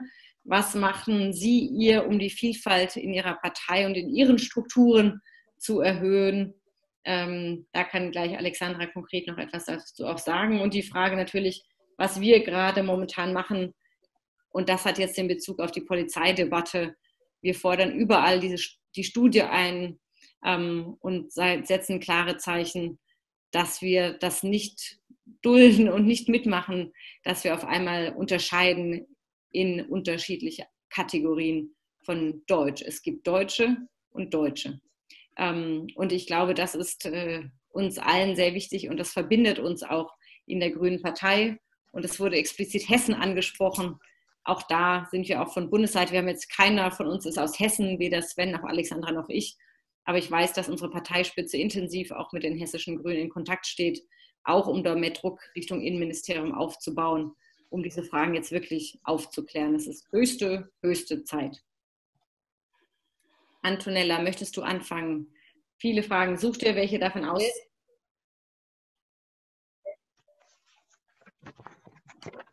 Sì, sì, mi risuonano un po' tutte. Ja, es gibt mehrere, auf die ich antworten würde, abgesehen von den Fragen, die mit Deutschland zu tun haben. Ich äh, wollte mich an das anknüpfen, was Ijaba gesagt hat, äh, als sie sagte, die das italienische Volk äh, ist äh, nicht weiß. Ich wollte auch an das erinnern, was eben diese, dieser schöne Aufruf ist, äh, eben um menschlich zu bleiben, von Tommaso Montanari, ein Kunstkritiker, ein italienischer Kunstkritiker, aber der auch europäisch, europaweit bekannt, bekannt ist. Er, er spricht von diesem Mischlingsitalien von der Kirche San Miniato in Florenz. Also San Miniato blickt auf Florenz herunter und kommt aus Armenien. Dieses, äh, denn San Miniato ist äh, jemand, äh, eben ein Heiliger, der aus Armenien kommt der dort dann auf den Hügeln stirbt. Und wir haben diese kleine Kirche, die auf Florenz blickt und die daran erinnert, dass Italien ein Mischlingsland ist. Und das dürfen wir auch nicht vergessen was den Kapitalismus betrifft. Äh, Kapitalismus und Rassismus, äh, das hat äh, Sarah schon sehr gut gesagt und sie kann mir auch antworten oder kann auch antworten für Deutschland. Aber ich glaube, die beiden sind miteinander verknüpft. Das haben wir auch in der Pandemie des Covid erlebt, denn die am meisten Betroffenen waren die Personen, die auf wirtschaftlicher Ebene oder auch auf gesundheitlicher Ebene, die waren die, die demütigsten Arbeiten machten, die eben als Erste ihre Arbeit wieder aufnehmen mussten um eben das aufrechtzuerhalten, was der Kapitalismus ist, was unsere Wirtschaft ist. Sie mussten öffentliche Transportmittel benutzen, mussten sich also wieder alle zusammentreffen. Und das sind die Leute, die am meisten betroffen worden sind. Wir haben auch Beispiele aus anderen Teilen der Welt, aber hier in Italien, zum Beispiel die Raider oder die Personen, die eben die Logistik, die, Trans die, die Pakete austrugen, die Leute, die weniger Chancen haben, andere Jobs zu finden. In diesem Sinne geht der Kapitalismus Hand in Hand mit Rassismus. Denn auch aufgrund der Gesetze, die wir für die Rider haben hier in Italien, und die sind so ein bisschen in der grauen Welt. Sie haben nicht dieselben Rechte, sie haben nicht dieselben sozialen Maßnahmen, sie haben auch nicht dieselben Arbeitsverträge wie die anderen. Und äh, die unterbezahltesten Jobs, äh, ja, die werden von Leuten ausgeführt, die schwächer sind und auch erpressbarer sind. Sie gehören in äh, diesen Mechanismus äh, des Kapitalismus der Letzten. Und die Letzten identifizieren, identifizieren sich mit dem, was eben die Letzten sind, die aus Afrika gekommen sind, die von Afrika herkommen. Es gibt mehrere Fragen, die ich mir notiert habe. Ja, die Polizei. Ja, auch hier habe ich ein Beispiel angeführt in Bezug auf die Justiz. In Bezug auf, äh, wie die Personen behandelt werden in Florenz, haben wir letztes Jahr äh, rote Zonen gehabt. Und diese roten Zonen waren Gebiete, die der gute, das gute Wohnzimmer waren, der gute Salon eben unserer Stadt. Und einige Personen durften in diese Zonen nicht hinein. Das waren eben die Sicherheitsverordnungen, die das äh, genehmigt haben und somit Leute ausgeschlossen haben und eben auch die, die Aufnahme gewisser Leute ausgeschlossen hatten um, damit eben, eben diese Leute dann auch einen Beitrag leisten. Ihnen wurde die Möglichkeit genommen, diese, diesen menschlichen Schutz äh, zu, zu bekommen. Und die Leute, die dann auf die Straße geworfen wurden, die durften einige Gebiete der Stadt nicht betreten. Also wenn du von der Polizei angehalten wurdest und wenn du keinen Wohnsitz hattest, kein Haus hattest, dann wurdest du weggeschickt. Und äh, du konntest äh, keinen Fuß setzen in das, ins Zentrum von Florenz, Disneyland. Eben wie die Leute, wie die Touristen, die viel Geld ausgeben können. Also es ist ein Mechanismus, der strukturell ist und der der wirklich eine Art Teufelskreis ist. Wir, und auch äh, die rechten Parteien, und wir haben in Italien die Lega, aber nicht nur, wir haben auch andere Parteien leider.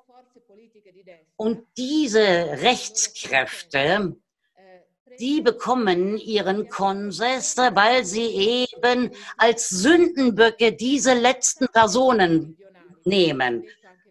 In der Vergangenheit waren es äh, die Süditaliener, denn wir haben den Unterschied, das Gefälle zwischen Norden und Süden. Also in der Vergangenheit waren es die Süditaliener und jetzt sind die Personen, die alle, die, die alle Schuld tragen, sind die Migranten. Und es, äh, es ist auch besser, dass sie illegal bleiben für die rechts, rechten Parteien. Ne? Denn man müsste ja glücklich sein, dass man Leute hat, die dann Steuern bezahlen, die es schaffen, die äh, wirklich es schaffen, jemand zu werden. Nein, sie wollen eben einen Konsens erzielen und diese eben als Sündenböcke benutzen. Insbesondere auch in dieser Pandemie haben wir das, haben wir das erlebt, äh, ganz klar erlebt. Ich wollte nur sagen, dass ich nicht vorher weg muss. Äh, ich habe mich anders organisiert und werde bis zum bitteren Ende bleiben. Das freut uns sehr. Herzlichen Dank. Das ist sehr schön. Ähm, ich würde jetzt äh, Alexandra dran nehmen und dann äh, nochmal zwei kurze und dann gehen wir weiter in die Runde. Alexandra.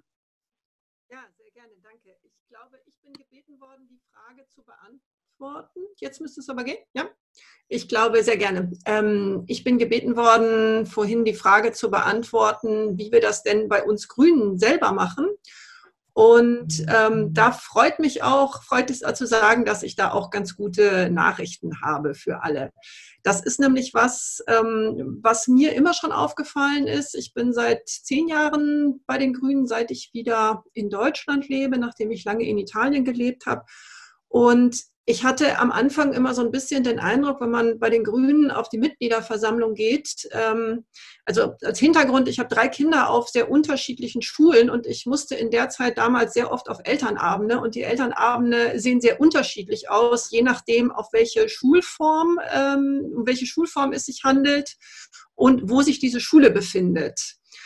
Und mein Gefühl war immer, naja, diese grünen Mitgliederversammlungen sind ja nett, aber das sieht immer aus wie der Elternabend am katholischen Gymnasium. Weiß, weiß, weiß.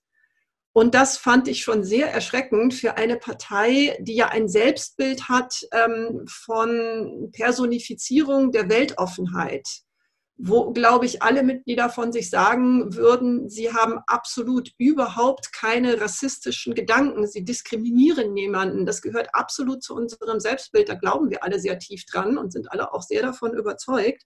Aber es hat halt nicht verhindert, ähm, dass wir trotzdem leider eine sehr weiße Partei sind. Natürlich nicht die einzige, das gilt auch für die anderen deutschen Parteien und wir schneiden im Durchschnitt noch recht gut ab, aber trotzdem ist die Repräsentanz von People of Color, von Menschen mit Zuwanderungsgeschichte in der Partei einfach vollkommen unzureichend. Ähm, und das, obwohl wir eigentlich in anderen Bereichen von Vielfalt sehr gut abschneiden. Also wir haben durch strenge Frauenquoten eine, eine starke Präsenz von Frauen, wir haben eine starke Präsenz von LGBTI und so weiter. Also wir haben ansonsten an anderen Fronten der Vielfalt sehr gut gearbeitet, aber an dieser halt nicht. Und wie es eben passiert, wenn Menschen nicht mit am Tisch sitzen, wenn Entscheidungen getroffen werden, dann können sie auch keinen Einfluss nehmen auf die Gesellschaft. Und das ist, glaube ich, in allen Ländern, also Ijaba und Antonella ähm, haben das ja auch aus Italien sehr gut erzählt, diese zweite oder bei uns ist es die dritte, vierte Generation, wenn sie keinen ähm, keine Staatsbürgerschaft hat, kann sich natürlich auch politisch nicht engagieren, kann sich nicht mit einbringen, kann die Gesellschaft nicht mitgestalten und ist ausgeschlossen. Und auch in Deutschland, obwohl wir ein mittlerweile auch dank der Grünen seit 2000 ein besseres Staatsbürgerschaftsrecht haben, fehlt aber immer noch, glaube ich, diese, diese praktische, konkrete Möglichkeit zur Mitwirkung, weil viele Menschen, People of Color oder Menschen mit Zuwanderungsgeschichte immer noch das Gefühl haben, sie sind eigentlich bei uns nicht willkommen. Und Deswegen freut es mich, seit dass wir 2019, im Mai 2019, was macht man in einer Partei, wenn man ein Problem lösen muss? Man ruft eine Arbeitsgruppe oder eine Kommission ins die sich dann damit befassen muss. Und seitdem gibt es eben die AG Vielfalt, die sich genau dieses Thema angeschaut hat und die vor wenigen Wochen auch ihre Schlussfolgerungen vorgelegt hat. Und ähm, es geht einfach darum, ich würde das gerne mal sagen mit den Worten der Vorsitzenden dieser, dieser AG, Gesine Agena, mit den Vorschlägen der AG Vielfalt lösen wir für uns als Partei ein, was wir für die gesamte Gesellschaft fordern. Strukturelle Diskriminierung mit strukturellen Änderungen zu beantworten. Dass die vielfältigen Perspektiven der ganzen Gesellschaft sich in den Parteien abbilden, ist eine zentrale Frage der Demokratie. Und dafür gehen wir mit dem neuen Vielfaltsstatut einen großen Schritt in unserer Parteientwicklung. Was ist jetzt dieser große Schritt? Was sind diese strukturellen Veränderungen? Eine ganze Reihe von Dingen, die vielleicht für Außenstehende erstmal so ein bisschen bürokratisch wirken. Es beinhaltet zum Beispiel einen Vielfaltskongress, der alle zwei Jahre stattfinden wird und der sich dann nochmal ganz intensiv mit diesem Thema beschäftigt. Es bedeutet ein Vielfaltsreferent in der Bundesgeschäftsstelle. Und für diejenigen, die sich da nicht so viel drunter vorstellen können, das bedeutet, dass da, wo die Büros der Parteiführung sind, wo Menschen im Prinzip ganz die zentrale Instanz dieser Partei, dass da jemand dabei sitzt, der diese Themen, diese Vielfaltthemen immer wieder jeden Tag einspielen kann, der immer da ist, das immer einbringen kann. Dann gibt es den Einsatz eines Diversitätsrates, der sich eben auch mit diesen Fragen beschäftigen wird und der bestimmte Rechte hat, Anträge einzubringen und so weiter, sich sehr stark ins Parteileben einmischen kann. Und ähm, es wird bei der Auswahl von MitarbeiterInnen und Funktionärinnen stärker darauf geachtet, dass sie eben auch Zuwanderungsgeschichten haben, People of Color sind und so weiter.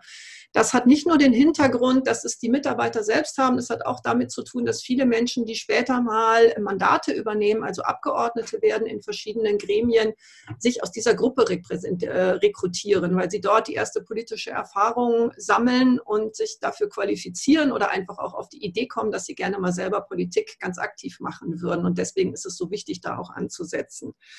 Ähm, wir sorgen für mehr Sichtbarkeit auf den Präsidien, also die Menschen, die auf großen Veranstaltungen, Parteitagen oben auf dem Podium sitzen und einfach eine große Sichtbarkeit haben, weil tausend Menschen drunter sitzen und sie anschauen, dass man da auch einfach diese Symbolwirkung hat. Ja, wir brauchen ja Vorbilder.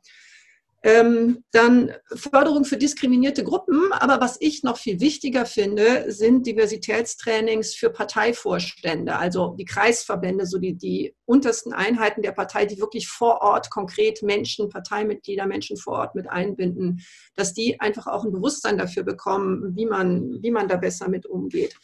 Und das sind, glaube ich, alles sehr positive Entwicklungen. Aber natürlich kommen wir auch an Grenzen, denn in einer Demokratie werden Mandatsträger, also Abgeordnete in den verschiedenen Parlamenten werden gewählt. Und bei den Grünen werden sie auch sehr basisdemokratisch gewählt. Das heißt, man kann auch nicht einfach von oben sagen, so, jetzt setzen wir mal die und die Person in diesen Wahlkreis oder in diese Liste. Und da kommen wir natürlich ein bisschen an Grenzen, ähm, weil wir noch Schwierigkeiten haben, genug Menschen an der Basis in die Partei zu holen, People of Color oder Menschen mit Zuwanderungsgeschichte, die bei uns mitmachen und dann so langsam sich bekannt machen und dadurch die Möglichkeit haben, ein Mandat zu erobern. Das braucht ja auch eine gewisse Zeit. Politik hat was mit Vertrauen zu tun.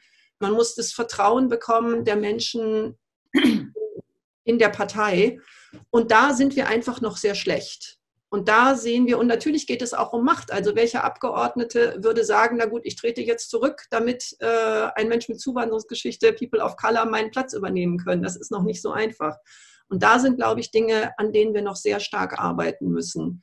Und was wir, glaube ich, auch brauchen, und das bekommen wir jetzt auch äh, mit einer Analyse, ist mal ein Blick von außen, warum kommen denn eigentlich ähm, weniger Menschen mit Zuwanderungsgeschichte zu uns in die Basis der Partei? Was haben wir für einen Habitus? Was strahlen wir aus?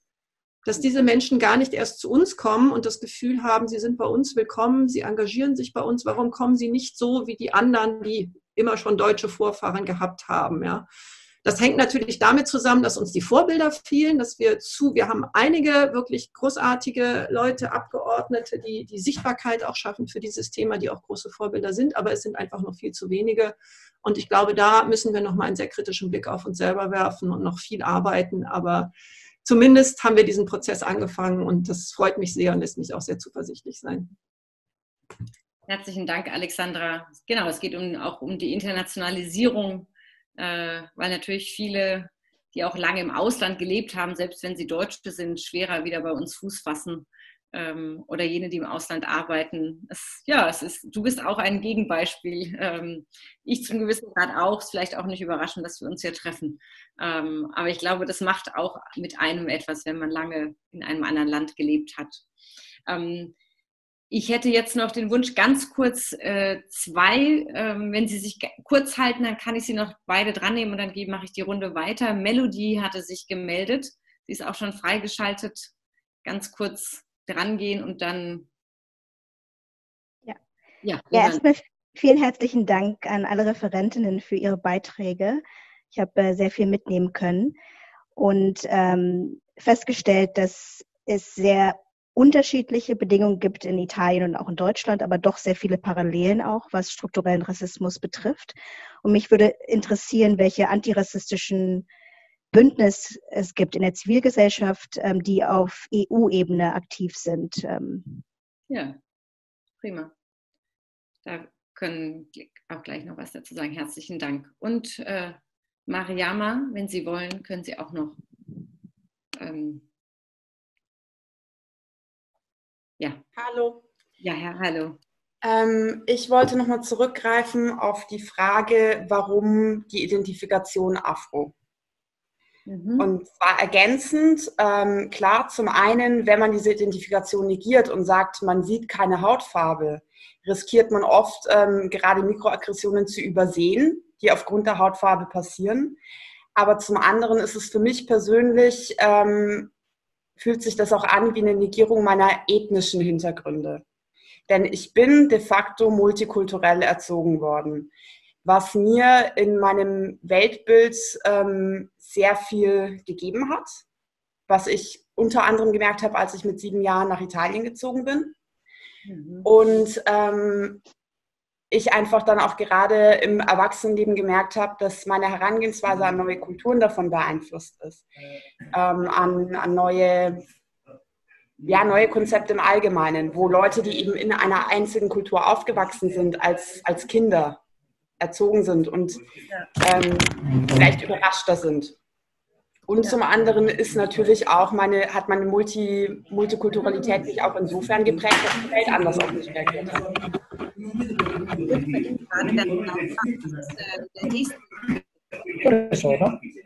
Könnt ihr mal Franz? Okay. Ja, habe ich schon gerade gemacht. Genau, aber Mariama, genau, den letzten Satz noch und dann. Oder war das schon der letzte Satz? Den hatte man gerade nicht. Ähm, nee, genau. Also das ist zum einen geht es eben darum, dass ähm, dass klar die Kulturen, die hinter mir stehen, die mich erzogen haben, die, die mich beeinflusst haben in meinem Erwachsenwerden, einen Einfluss hatten, aber eben auch, wie die Welt auf mich reagiert hat. Wie oft ich gehört habe, dass ich aber besonders gut Deutsch spreche, wie oft ich gehört habe, dass ich aber besonders gut Italienisch spreche, noch bevor die Leute überhaupt erfahren konnten, wo ich denn herkomme. Hm. Ja, danke für deinen Einblick und vor allem. Grazie. Ecco. Simona, vuoi abbassare? Sì. Yes, go ahead. Posso? Posso? Darf ich? Yes, we can hear you. Yes. Sì. Eh, Franz Ciminieri. Franz Ciminieri ist mein Name. Ich wollte auf die Bedeutung der europäischen Staatsbürgerschaft nochmal zurückkommen, denn die Gruppe der Grünen müsste wirklich äh, sich einsetzen für diesen Vorschlag, müsste wirklich einen Kampf austragen dafür, denn die europäische Staatsbürgerschaft könnte auch nützlich sein, um gegen den Rassismus anzugehen. Aber ich wollte Ihre Meinung gerne, gerne hören. Herzlichen Dank. Und herzlichen Dank für alles. Denn diese Webinars, die ihr organisiert, sind wirklich sehr, sehr interessant und und sehr gut organisiert. Also nochmal herzlichen Dank dafür. Ja, herzlichen Dank für Ihre Teilnahme. Das freut uns zu hören. Ich würde jetzt als nächstes das Wort an Leila geben.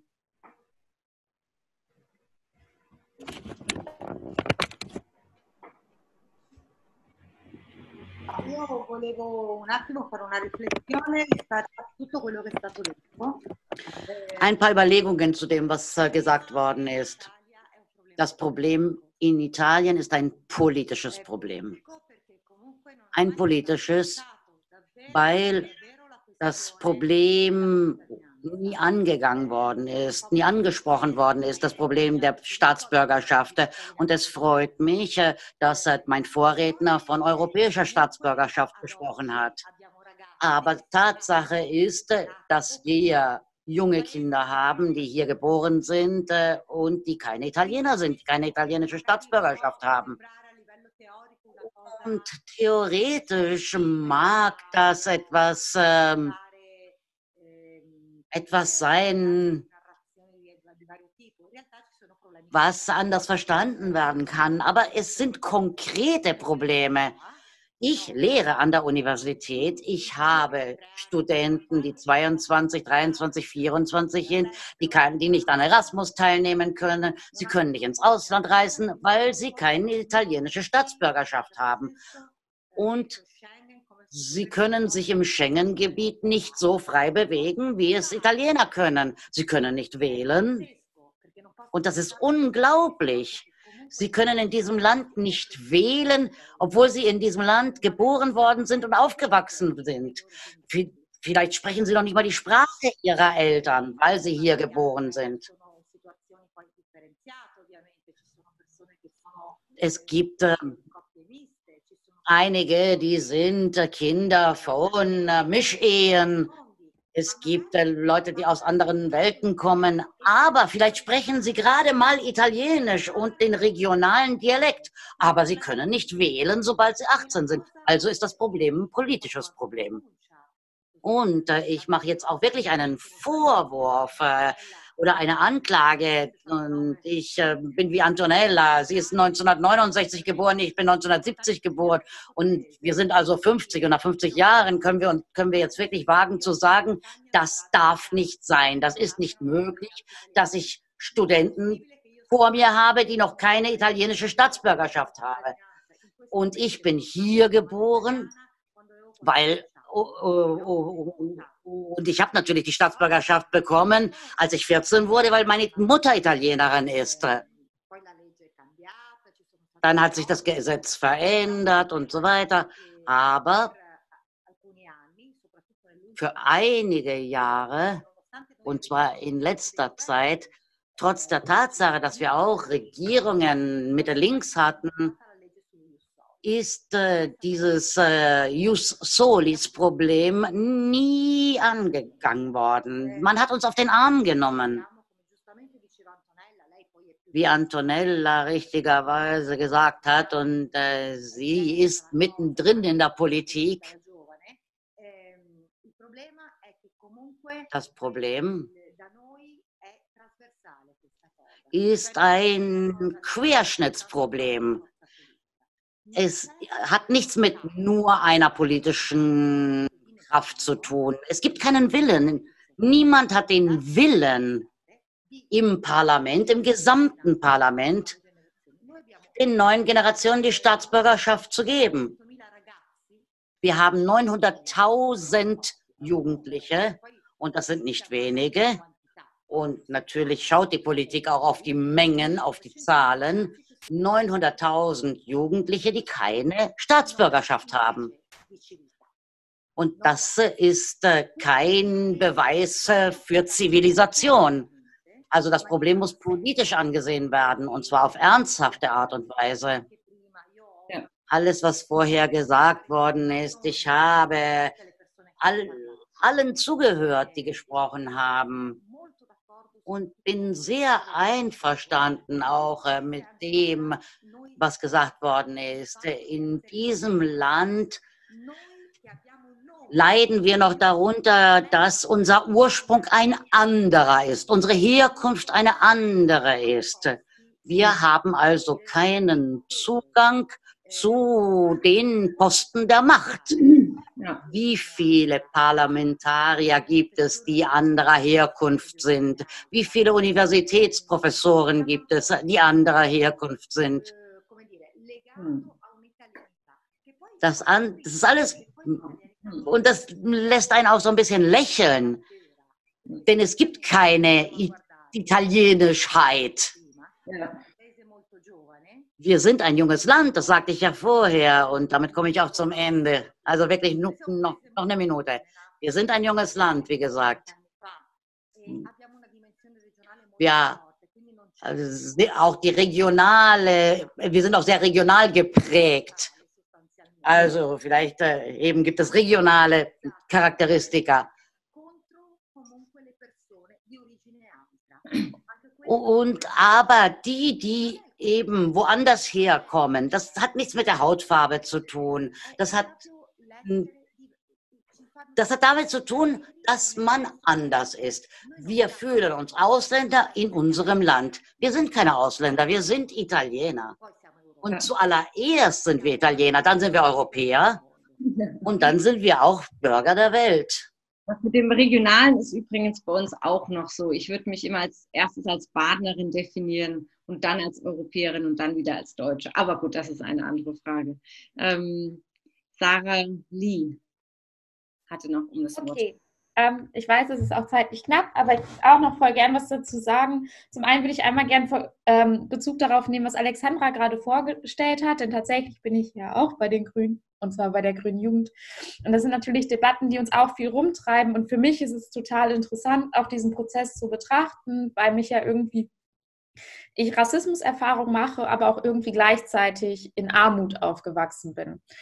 Und ich glaube, was, worauf wir, wenn wir uns fragen, warum kommen Menschen in bestimmte Parteistrukturen nicht rein, warum sind Menschen nicht in der Politik, dass wir ähm, nie vergessen dürfen, dass es dabei nicht um irgendwie eine schwarze Oprah Winfrey geht, die irgendwie reich ist und die ihren Zugang in die Politik schon finden wird, wenn sie ihn braucht. Und dass man gerade, wenn man, also ich vertrete ja stark die These, dass man eben Rassismus von sozialen Fragen nicht trennen kann. Und gerade dann muss man auch, wenn wir uns als Partei oder generell, wenn die Politik sich fragt, wie wir mehr Menschen repräsentieren können, immer uns auch vor Augen halten, dass ähm, wir gleichzeitig von einer Gruppe reden, die wirtschaftlich sehr oft weit unten in der Leiter steht. Und dass wir das auch berücksichtigen müssen, weil dann zum Beispiel sowas wie ein Sprachtraining, also so ein Sprachtraining für diskriminierungsfreie Sprache, so wichtig es ist, vielleicht nicht das ist, was dafür, dazu führt, dass diese Menschen kommen werden, weil diese Menschen vielleicht ganz andere äh, Probleme haben, warum sie nicht in Parteien kommen und dass sich das dann nicht nur in einem Habitus ausdrückt, von wegen welche Sprache wir benutzen, sondern in wirtschaftlichen Realitäten. Denn was ich gerade sehr stark erlebt habe, ist, dass gerade nicht nur Menschen Migrationsgeschichte stark unterrepräsentiert sind, sondern auch Menschen, die in Armuts, also die Armutserfahrungen machen, die damit beschäftigt sind, zu gucken, wie sie am Ende ihres Monats klarkommen und dann halt nicht mehr den Kopf dafür haben, sich politisch zu engagieren oder ihnen irgendwie klargemacht wird, dass sie in dieser Politik nicht so viel ändern können. Und ich glaube, das ist etwas, was wir noch ganz stark mitnehmen müssen, wenn wir uns fragen, wie wir es auch in der Politik, was so wichtig ist, in einer Demokratie schaffen, die Menschen zu repräsentieren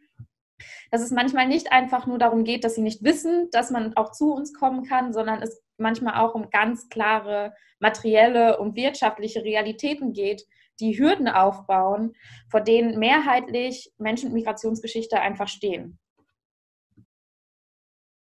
Ja, herzlichen Dank, ähm, Sarah. Da hast du absolut recht. Das liegt auch daran, an welche Orte wir gehen, wo wir präsent sind, wo wir uns treffen, und auch welche Themen wir mehrheitlich bespielen. Mhm. Die Grünen haben, also so, das geht, darum geht es ja auch. Wir, wenn wir, die, wenn diese Menschen vor allem Probleme in Fragen äh, von Soziales und ähm, Arbeitsmarktpolitik haben, dann heißt das für uns als Grüne auch, wir müssen da ganz klar zeigen, dass es auch eine Priorität für uns ist und dass wir sie am Koalitionstisch nicht äh, eintauschen werden. Absolut. Nee, du hast total recht. Das sind die, die Themen, das sind die Orte, äh, es sind die Menschen, die dabei sind. Ähm, es ist auch die Sprache, aber es ist absolut auch die sehr gute, den Punkt, den du gemacht hast mit dem Sozialen. Ich glaube, da hängt, ist sehr, sehr viel dran. Ich würde jetzt gerne noch äh, Schiaba das Wort geben. Das letzte, bevor wir dann ein kurzes Wrap-up machen. Es ist jetzt schon spät. Wir sind schon alle lange dabei. Ich danke übrigens dafür, dass Sie auch alle so lange dabei sind, auch für die Dolmetscherinnen, dass sie so toll für uns die ganze Zeit das ermöglichen. Tja, aber.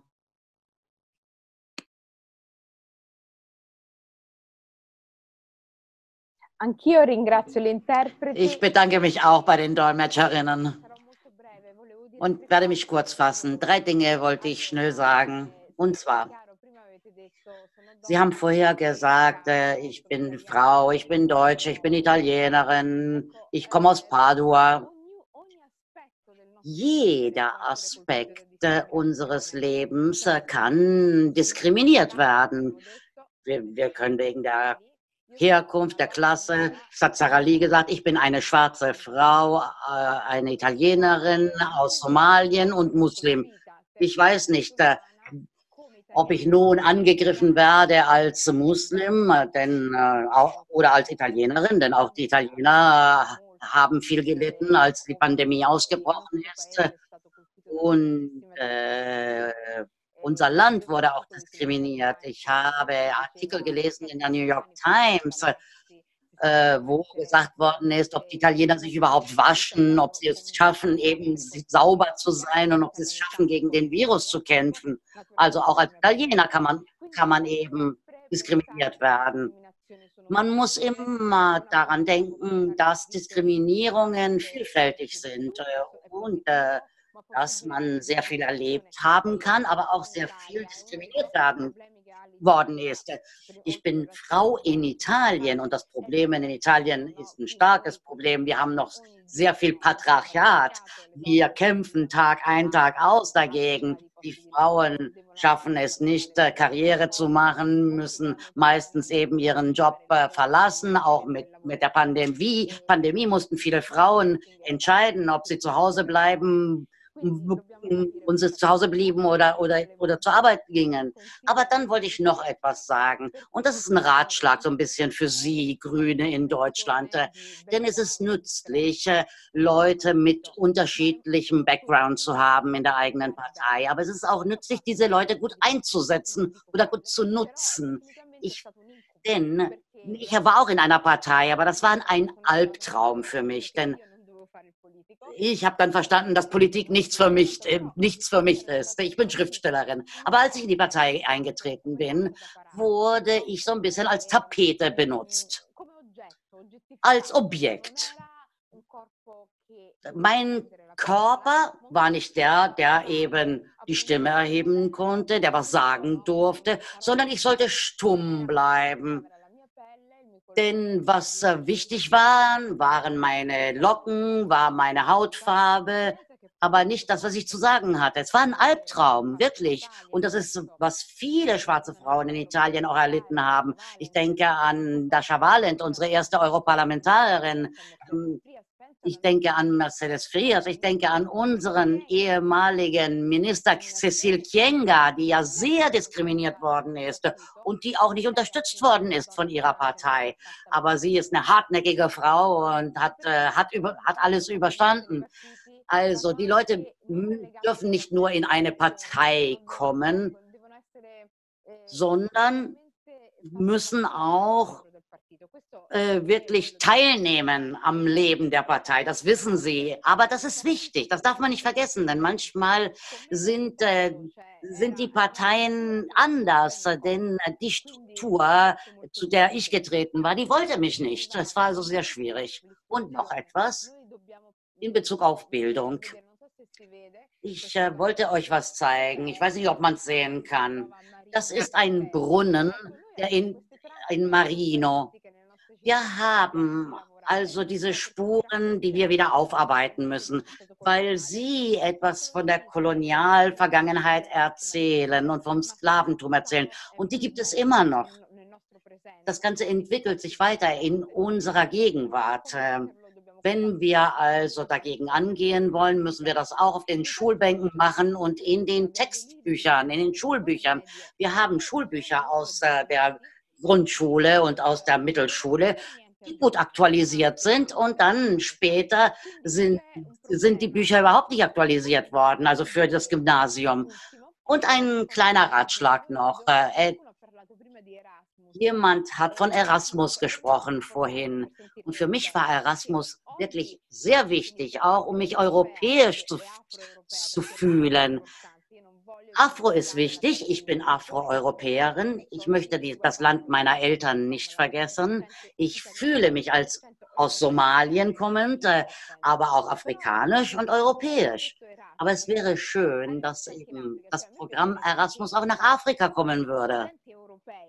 Denn die europäischen Universitätsstudenten oder auch die Gymnasialstudenten, das dass sie nach Afrika reisen können. Denn Afrika ist nicht nur Hunger, äh, sondern ist auch Moderne, ist auch Kultur, Modernität, ist äh, ein Junger oder eine junge Europäerin könnten eben auch ein Stipendium in Addis Abeba eben ableben.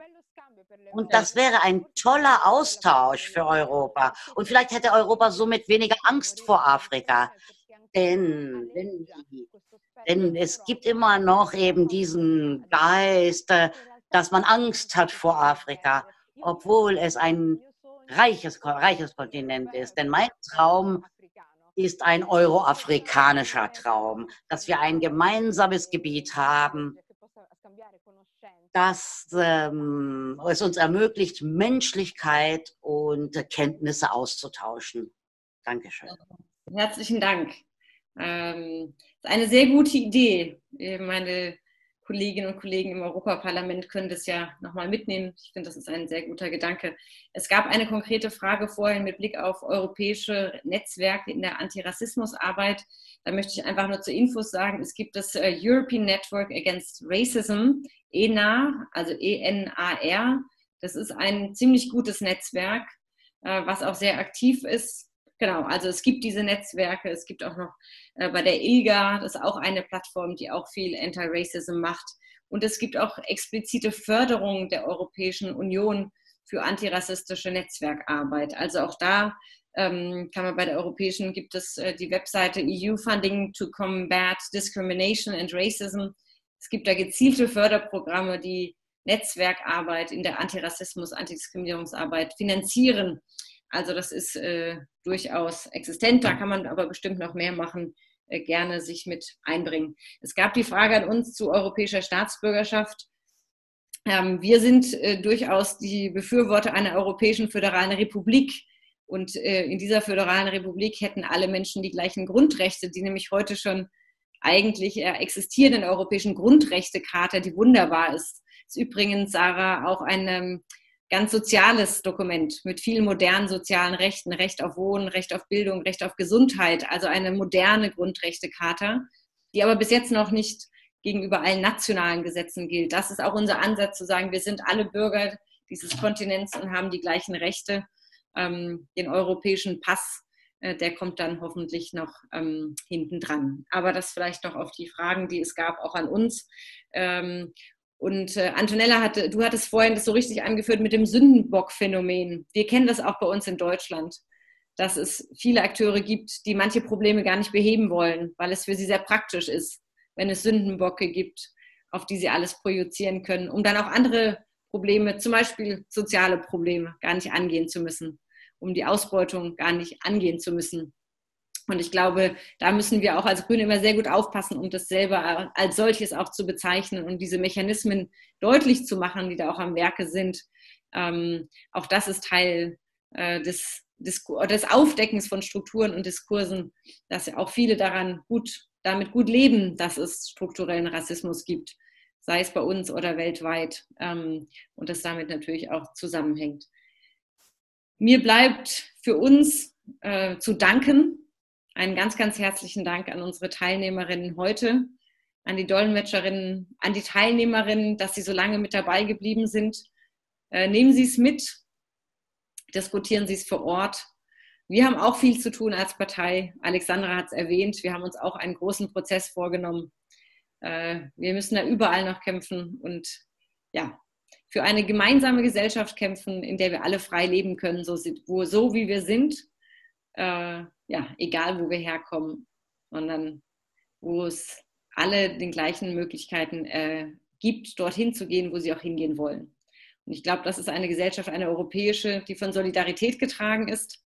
Das ist in den nächsten Tagen und Wochen auch zentral.